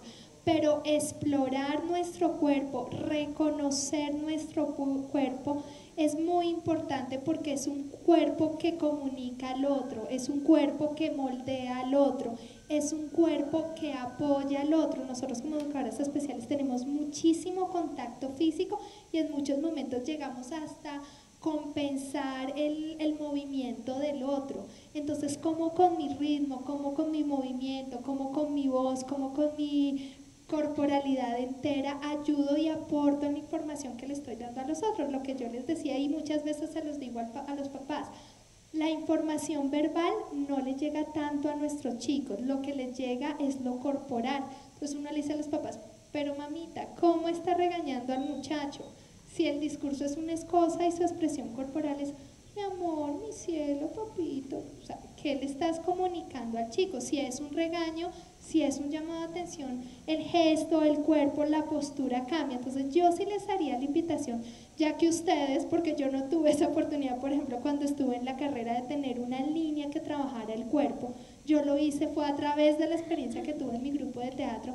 Si usted tiene esa herramienta, porque muchas veces es lo único que te encuentras en un aula de clase, explorenla, utilicenla, modifíquenla, encuéntrenla, eh, porque estamos en contacto con el otro, no estamos trabajando en oficina. Entonces, si hacen este tipo de ejercicios, pónganse metas diferenciales, que es importante. Yo debo participar, pero de qué manera mi cuerpo me permite participar, que es un poco lo que me pasa con mis chicos. Yo más o menos el grupo tengo entre 12 y 15 chicos en escena no todos tienen la misma responsabilidad, no todos tienen el mismo cuerpo, pero obviamente todos están como en, la misma puesta en escena, con las mismas responsabilidades, con su presencia. Y entonces creo que la invitación desde el comienzo era eso. Tienen un cuerpo, tienen una posibilidad, utilícenlo.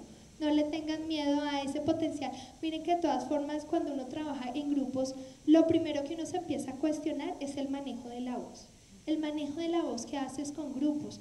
Una compañera me decía, es que siento que estoy gritando, que los estoy gritando. Y no, es que tienes 35 en el aula, o sea, no vas a poder hablar pasito, por lo menos para un primer enganche no lo vas a poder hacer. Entonces, ser conscientes de esas posibilidades que tenemos con el cuerpo es muy importante.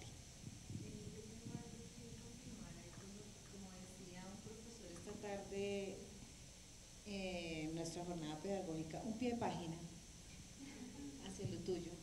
y es con respecto a esos estudiantes que nosotros tenemos en los salones de clase.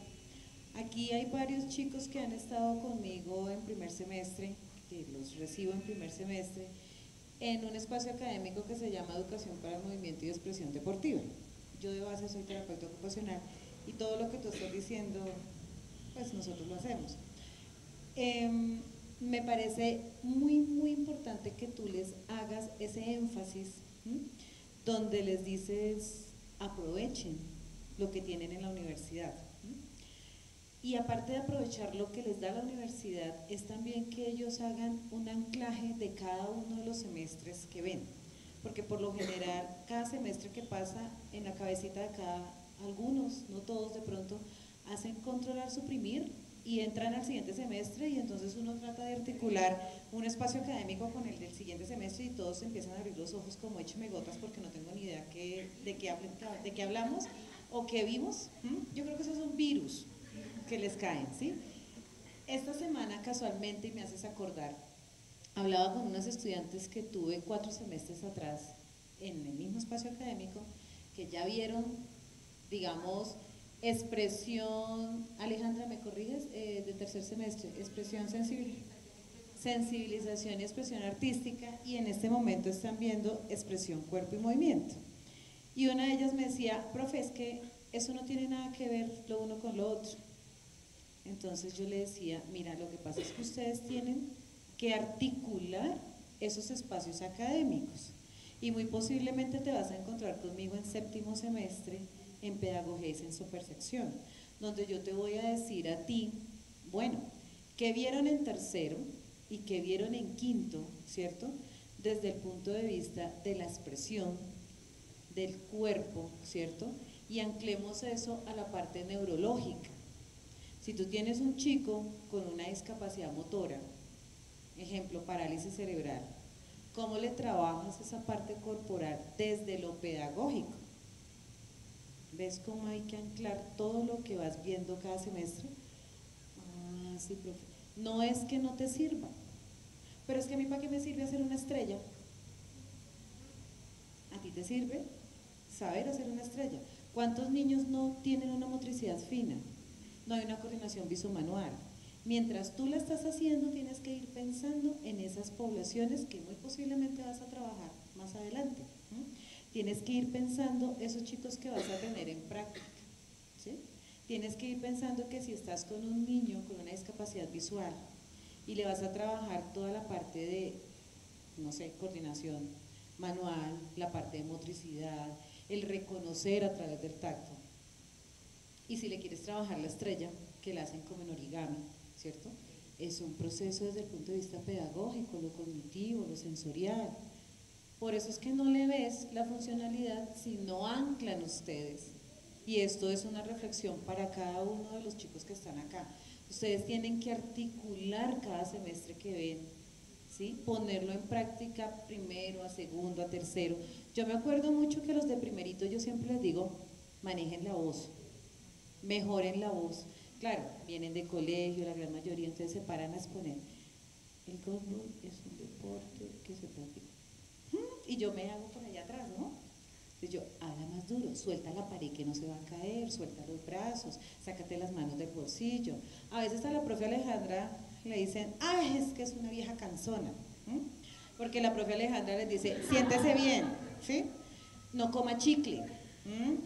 Eh, en el salón no se come, ¿cierto? Estamos formando docentes. Y si desde la academia no los formamos, pues entonces, ¿qué podemos esperar cuando estén en un proceso profesional? Nos vamos a encontrar con lo mismo. Allá la compañera, ah, a nivel profesional, mascando chicle, no, usted sí no se corrigió para nada, ¿cierto?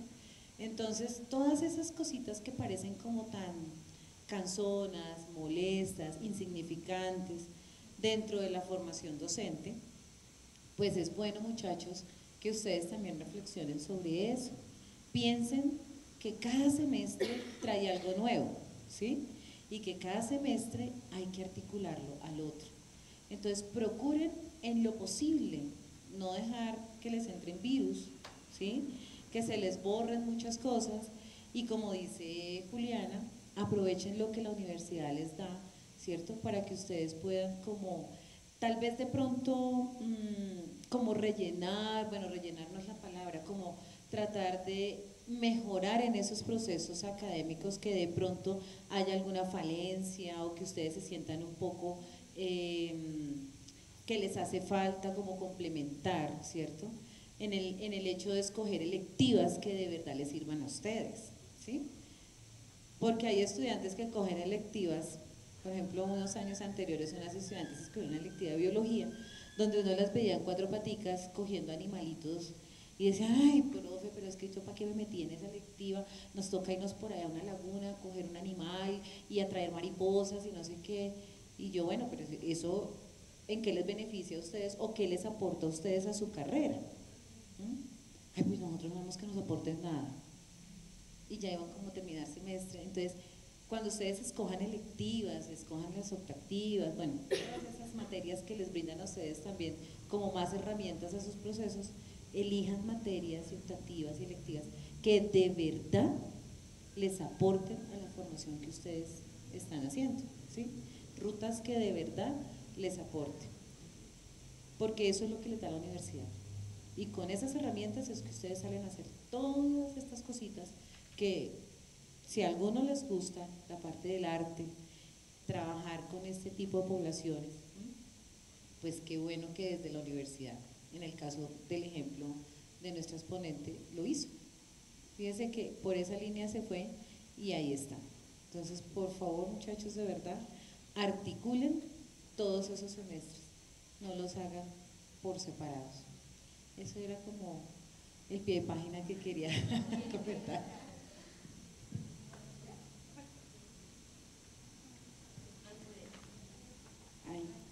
Eh, bueno, buenas tardes, mi nombre es Jenny, de noveno semestre, y es como completar un poco lo que dice la profesora. Eh, yo veo que respecto a lo que plantea ella es una gran problemática que nos gusta que nos den todo desmenuzado. Entonces, digamos, eh, yo las clases que nombraba la profesora, todas las he tenido con la profesora Alejandra Esguerra y ella nos da una variedad de materiales. Entonces, de pronto lo que nosotros esperamos o lo que yo evidencio es que ella nos diga, bueno, si maneja este material, le sirve para el chico con discapacidad visual. Si quiere este material, le sirve para el chico con discapacidad. Entonces, eh, no es, eh, la, metodología de la profesora es como exploren ustedes mismos todo el material, vean la diversidad que hay y el problema es de uno, de bueno, y lo aplico, pero ¿cómo lo llego a aplicar a la ola? Entonces realmente son ejercicios que sirven mucho, yo por lo menos todos los ejercicios de, de arte o eso lo hago con mi sobrino y son muy productivos y uno le halla el sentido a las cosas, pero si nos quedamos como, ay, bueno, sí, este es el material y hice eso y ya, entonces volvemos a lo que dice la profesora, es como la articulación, no todo no lo tienen que dar como tan, tan desmenuzado, de pronto lo que se plantea el teatro, dice como, bueno, el, teatro, el movimiento, entonces sí, el chico vaya y muévase y ya. Y nos quedamos en cosas como muy básicas, pero no trascendemos y vamos más, más allá.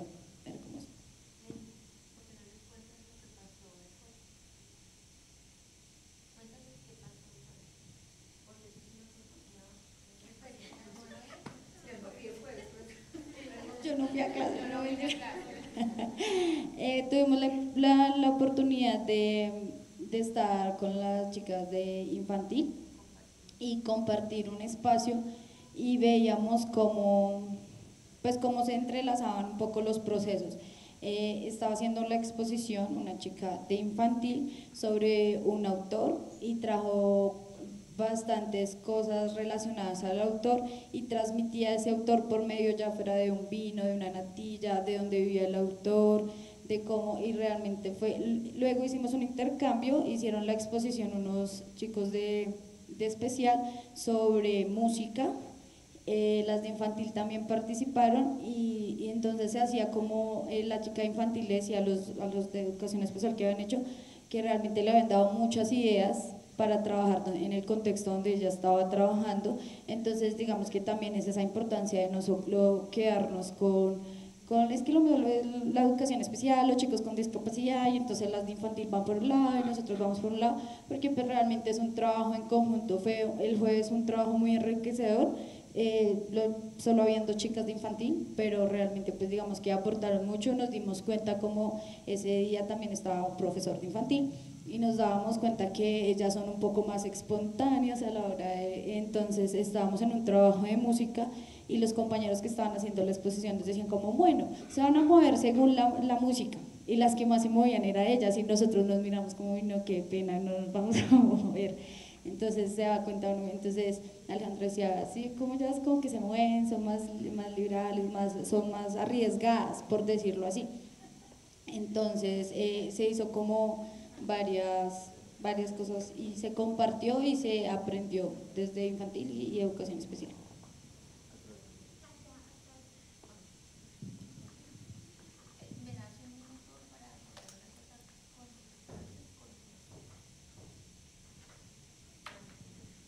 Eh, el profesor Guillermo Prieto es de educación infantil es un profesor con el cual hemos trabajado y estuvo también aquí en nuestro seminario.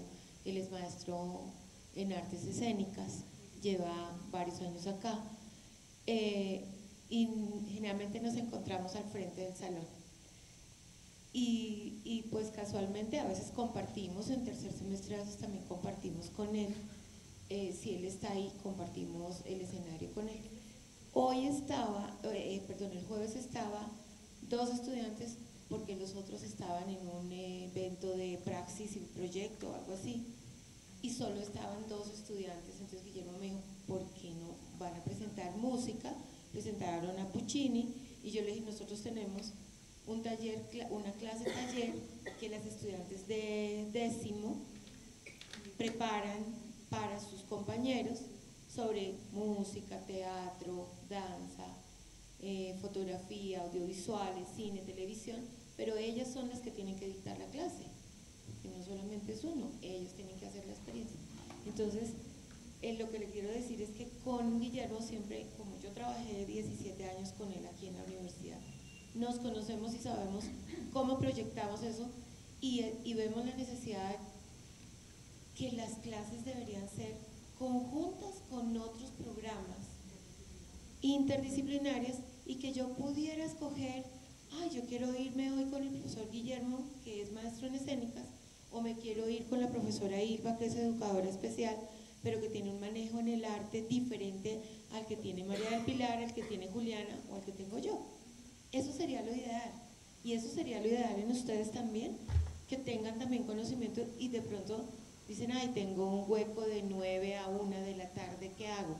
A ver, busquen un profesor que les dé la posibilidad de estar de asistente en sus clases y que les guste lo que quieran mirar. Es una posibilidad de compartir escenarios.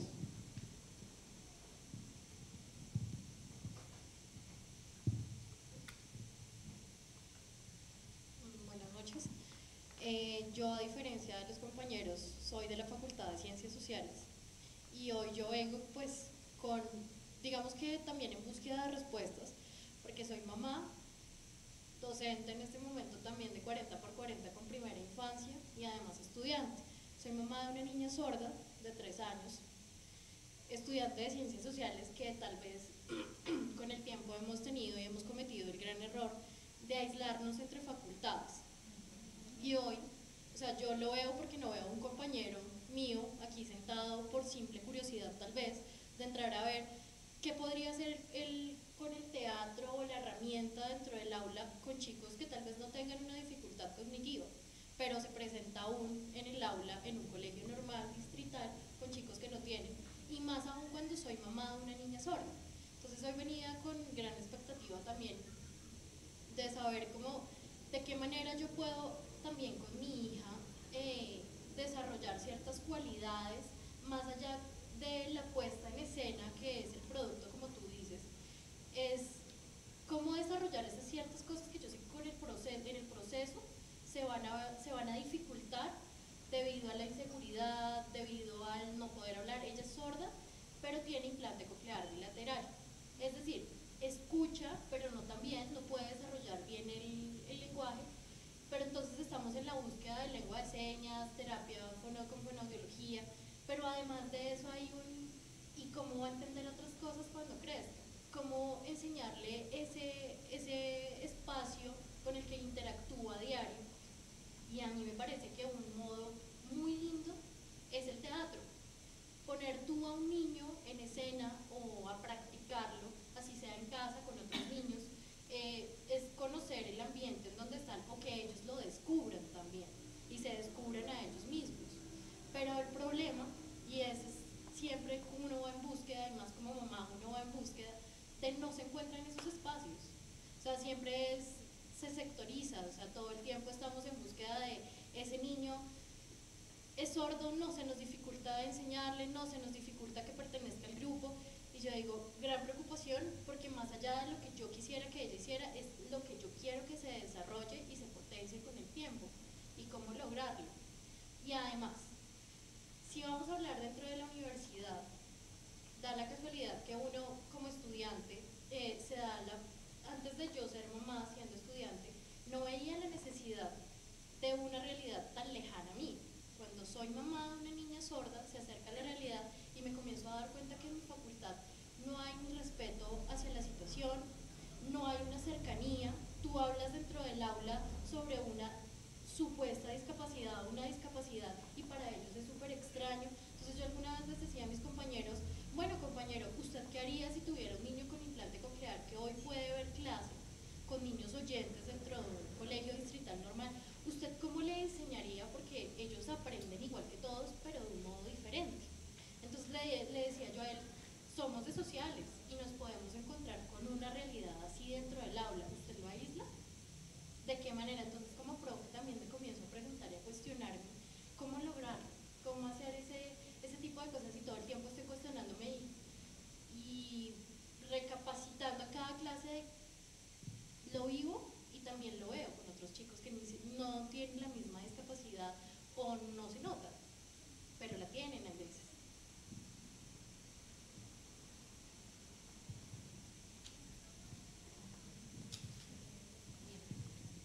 Bueno, creo que las, los aportes que acabas de hacer son supremamente claros, lo, lo, vivenciamos y lo hablamos en el encuentro de egresados de la Universidad Pedagógica el viernes pasado, donde decíamos eso, que tanto todas las facultades de la universidad están permeadas por esta situación particular de reconocer la diferencia y el trabajo con discapacidad como es un hecho real.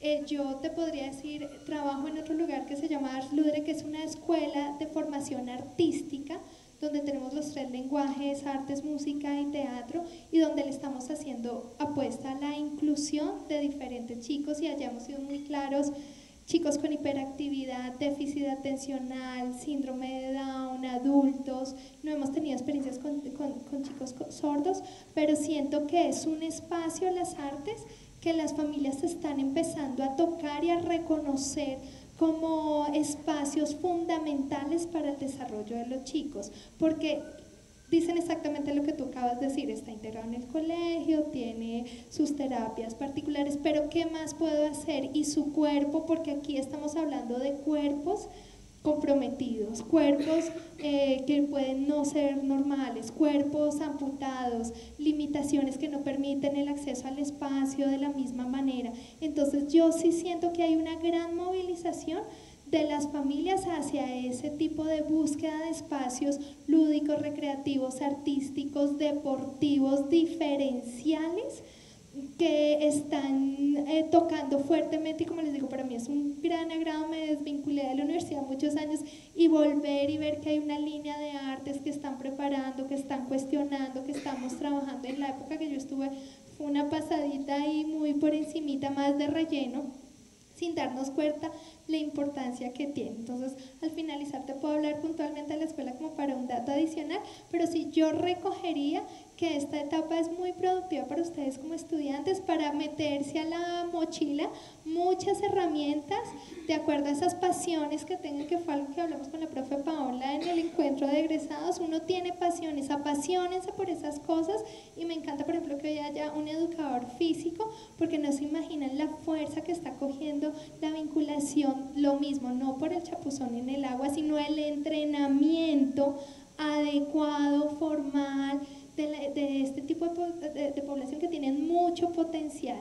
Entonces creo que sí, debemos empezar a prepararnos todos, pero también es importante generar redes articuladas con otras disciplinas donde ellos nos puedan aportar su lenguaje y nosotros también articular nuestro lenguaje para una mejor formación. Ahora si quieren trabajar. Lo corporal, bueno, vamos a correr las, dime.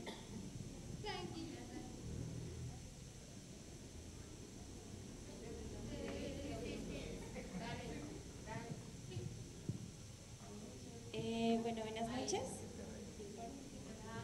Buenas noches. Eh, bueno, mucho gusto. Mi nombre es Katherine. Eh, pertenezco a la línea de Artes y Lenguaje con la profesora Alejandra Esguerra y Mariluz Parra, que está ausente. un poco se siente como fortalecedor estar en un, espacio en donde se enriquece a través de otros compañeros de, de la misma universidad. cabe resaltar mucho lo que tú dices.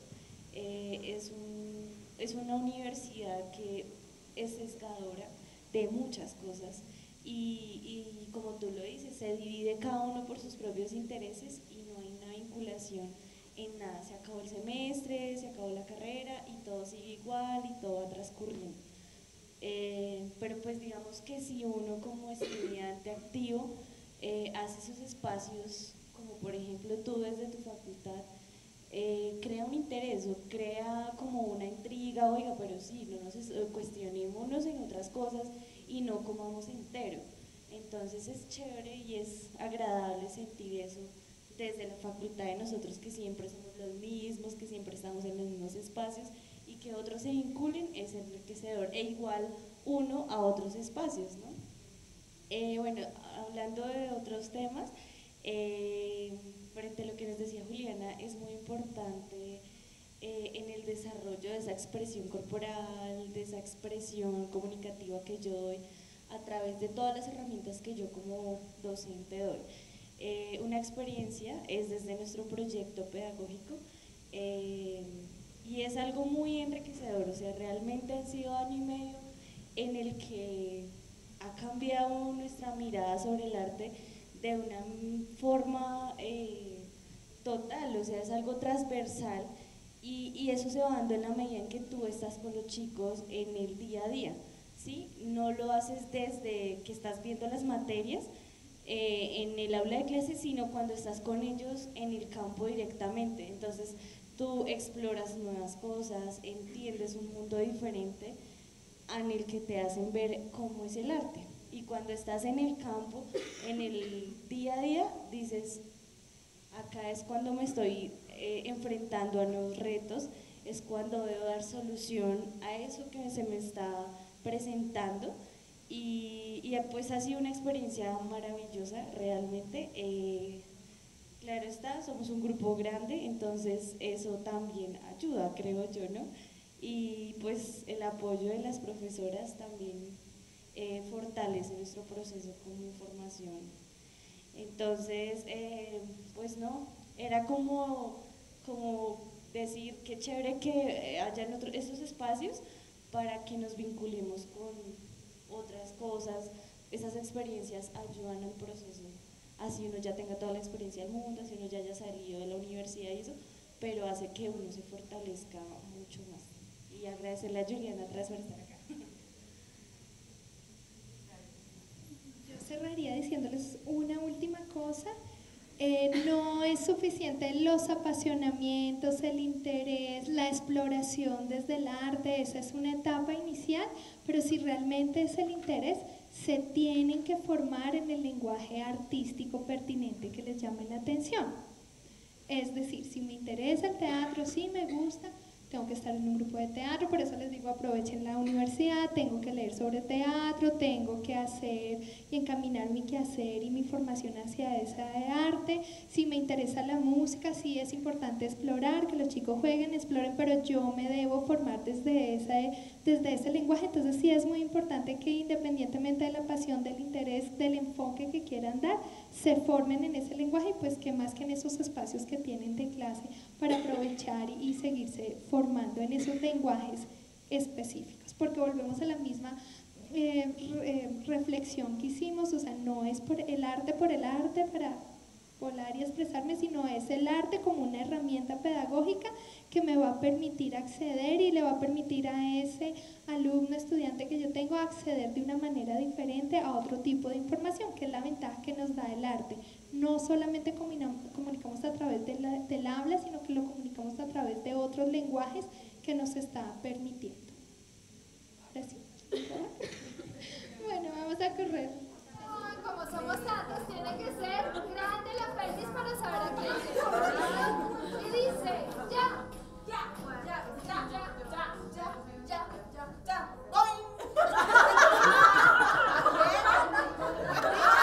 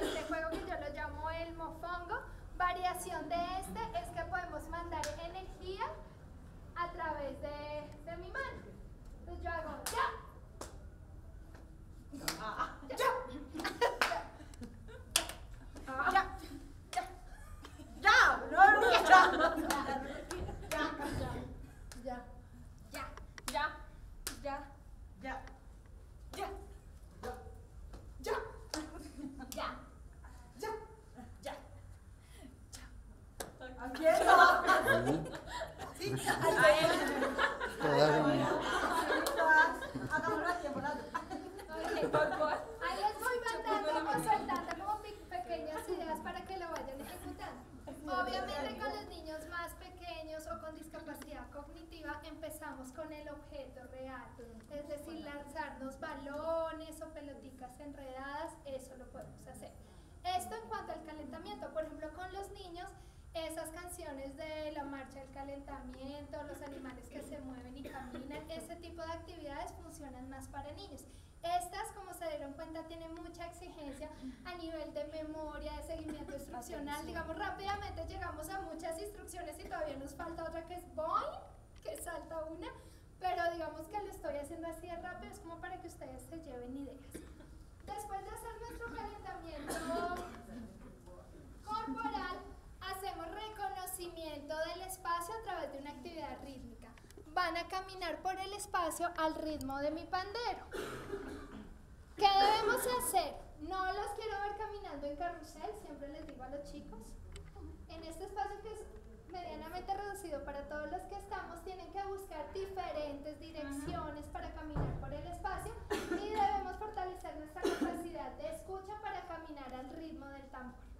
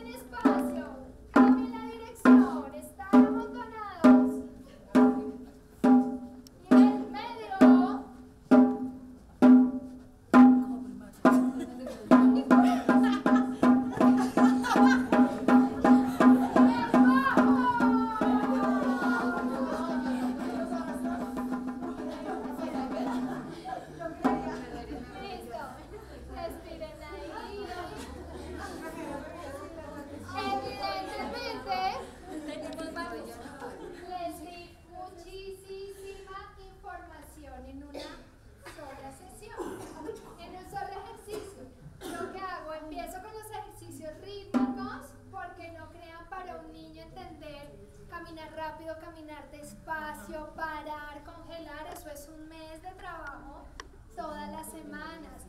Luego entender los niveles es otro ejercicio totalmente diferente. El cambio de dirección, es decir, lo que quiero decir es, no van a hacer este ejercicio así como yo se los hice. Botando información para que ustedes se lleven hartas herramientas, pero la idea es que este ejercicio lo puedes subdividir mil veces. Otra cosa que hago es generar movimientos a partir de los sonidos de los instrumentos. Entonces con el tambor caminan, pero con las claves van hacia atrás, pero con el checker se sacuden, pero con el triángulo eh, saltan. Digamos, hay mil posibilidades. Aquí que estamos trabajando desde la expresión corporal, reconocimiento del espacio y reconocimiento del otro. Y por supuesto, aparte del calentamiento y de la interacción, empezamos ya a abordar cosas desde lo expresivo. Siguiendo con el trabajo de las eh, fotografías, que a mí me gusta, podemos hacernos por parejas, preferiblemente alguien que sea de su misma estatura.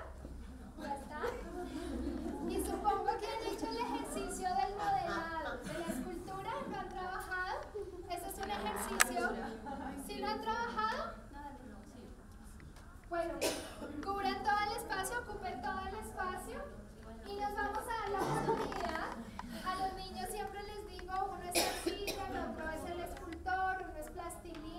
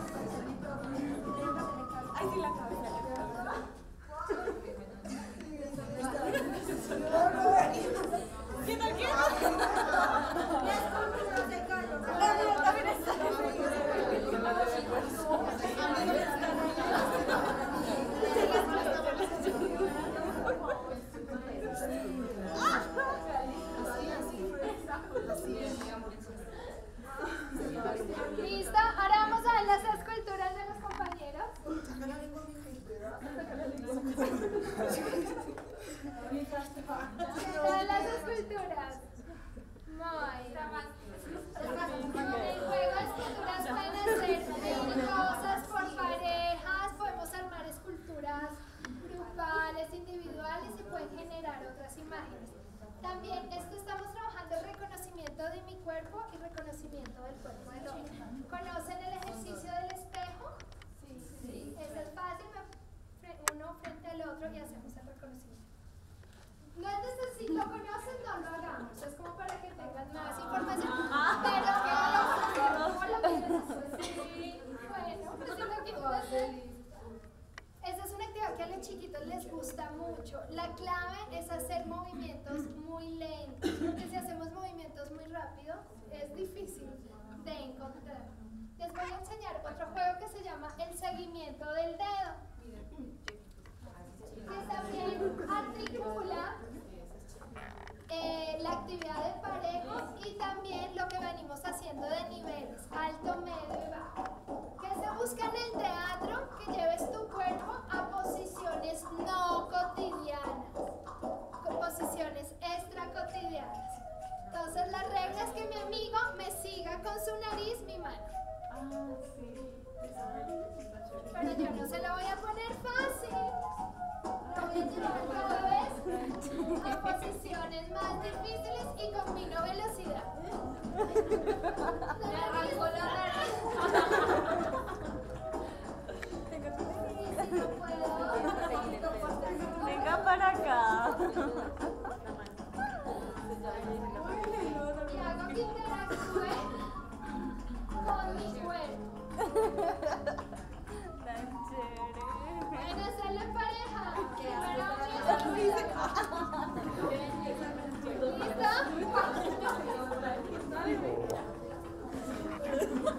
No se la pongan fácil al compañero, rételo.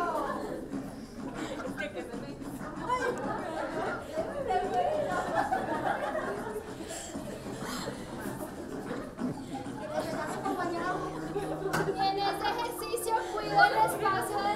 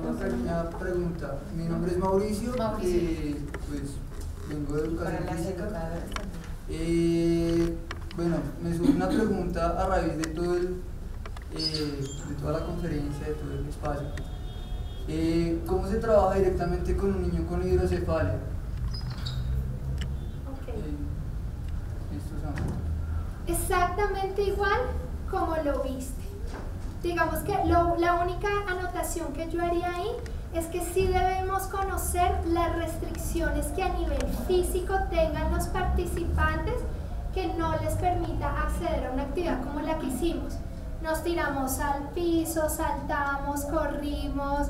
Eh, Bueno, hay una cantidad de situaciones desde lo corporal que yo sí he tenido casos de chicos que me dicen, eh, tiene un corsé, no se puede agachar, no se puede doblar, no puede durar mucho tiempo parada, le acaban de hacer una operación de córnea, no puede hacer fuerza. O sea, ese tipo de restricciones físicas que desde la actividad física comprometen, sí debemos conocerlas para saber de qué manera adecuarlas.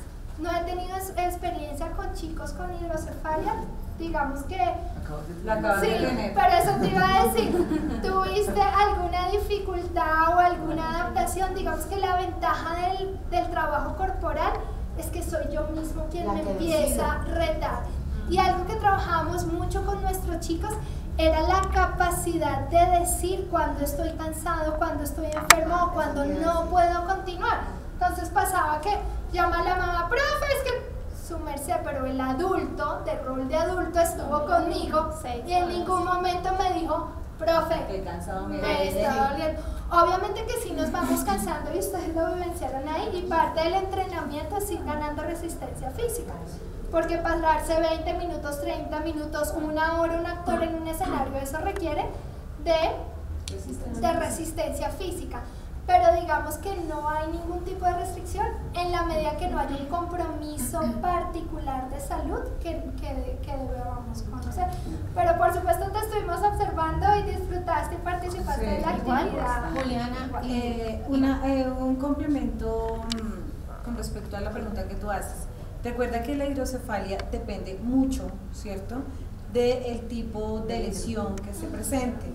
Eh, a veces estamos hablando de espinas bífidas que pueden generar hidrocefalias y las espinas bífidas pues pueden generar también un trastorno a nivel motor, algunos de ellos quedar en silla de ruedas. Entonces para hacer este tipo de actividades pues toca hacer una adaptación eh, grande al entorno y grande a la persona que va a trabajar la actividad. No es que no la pueda hacer, obvio, de pronto no se va a poder botar al piso, de pronto no va a poder alzarse tanto como lo estamos haciendo nosotros, pero dentro de sus capacidades va a poder hacer ciertas actividades que se manejan en, estos, en este tipo de, de talleres. ¿sí?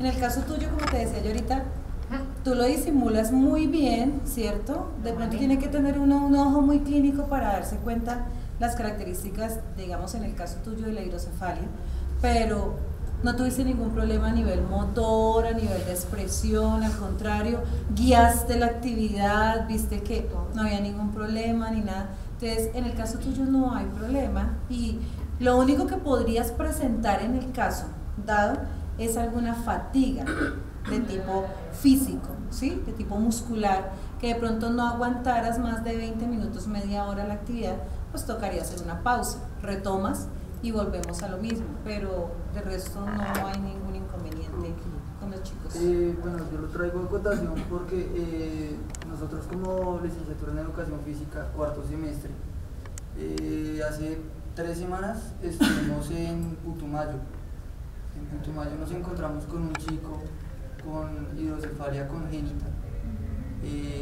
Una parece al lado izquierdo, muy similar a la mía. Eh, al llegar al aula de clase, eh, me enteré que la docente a cargo lo tenía excluido completamente de toda actividad. Eh, al hablar con ella directamente me dijo que era porque no sabía cómo, cómo tratarlo y cómo manejarlo. Al hablar con el docente de educación física me dijo exactamente lo mismo.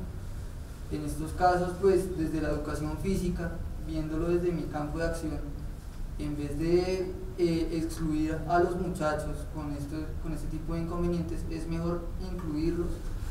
Obviamente, como tú dices, conociendo las causas, conociendo eh, consecuencias y características de la enfermedad como tal o de la condición y eh, modificando o flexibilizando en ese caso el, el plan a seguir.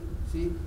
En este caso yo trabajé directamente con el chico, no me esperaba esa sorpresa porque eh, pues para mí fue una sorpresa muy grande encontrarme alguien con mis mismas características en un entorno escolar, eh, con las mismas condiciones porque a mí también me pasó lo mismo, yo también fui excluido de clases de educación física y es el motivo que, por el cual estoy estudiando educación física. Eh, entonces, pues fue muy, muy chévere, logramos hacer la actividad con el chico. Obviamente, pues, como tú dices, mediando directamente las, las fatigas, ¿sí? Y, pero pues se logró hacer las actividades, entonces pues es como lo traigo a cotaciones por eso, porque el, pues, el deber ser de un docente, sea licenciado en educación especial, sea licenciado en pedagogía o sea licenciado en educación física o cualquier otro medio, eh, es ese, no excluir, sino empezar a incluir. Por eso lo trae en votación. Muchas gracias. Y una cosa importante es que nosotros no aprendemos a reconocer nuestras capacidades y a contarlas, porque nos da pena, porque el uno no lo admite, porque el otro sí. Y el docente, eh, digamos porque han sucedido casos, yo siempre pregunto quién es alérgico a la trementina o al óleo o a algo y trato de, de preguntar no para indagar ni para excluir, sino para preocuparme o dar una, una alternativa de trabajo. Digamos a las embarazadas pues no las puedo tener encerradas en un salón oliendo trementina mientras que hacemos el papel marmolado. Tenemos que hacerlo afuera. Entonces, son esas cosas que tenemos también que aprender como maestros a proponerlas en los espacios en los cuales trabajamos o hablarlas simplemente y a reconocer que tenemos nuestras discapacidades o nuestras capacidades diferentes, eh, pero que es importante, si yo tengo dolor de estómago, pues no puedo trabajar en esa condición, y no lo voy a hacer de la misma manera, si tengo dolor de cabeza, si los olores me afectan. Entonces, eso también es parte de todos nosotros, de poner la verdad sobre la mesa, sin ninguna restricción y sin ningún entrar a lo íntimo o a lo más allá de cada uno de nosotros. Pero es importante. Yo puedo tener a tu hija, ¿es hija? Y sin yo saber que es sorda, oiga, pero a ver, escúcheme. Pero es que no me escucha. Pues no me escucha. Pero yo no sé es sorda. Entonces, uno no puede saber todo en la vida. Pero hay que hablar. Y las cosas hablando se meten. Muchísimas gracias por ti, acompañarme. Eh, espero venir en el próximo seminario. Con mucho gusto. Eh, ya saben, cualquier cosa estoy a la orden. La próxima citación es en noviembre. En 11 de noviembre. 11 de noviembre para que nos volvamos a encontrar acá. Pero el otro semestre te esperamos. ¿no? Bueno, sí, como claro. maestra de.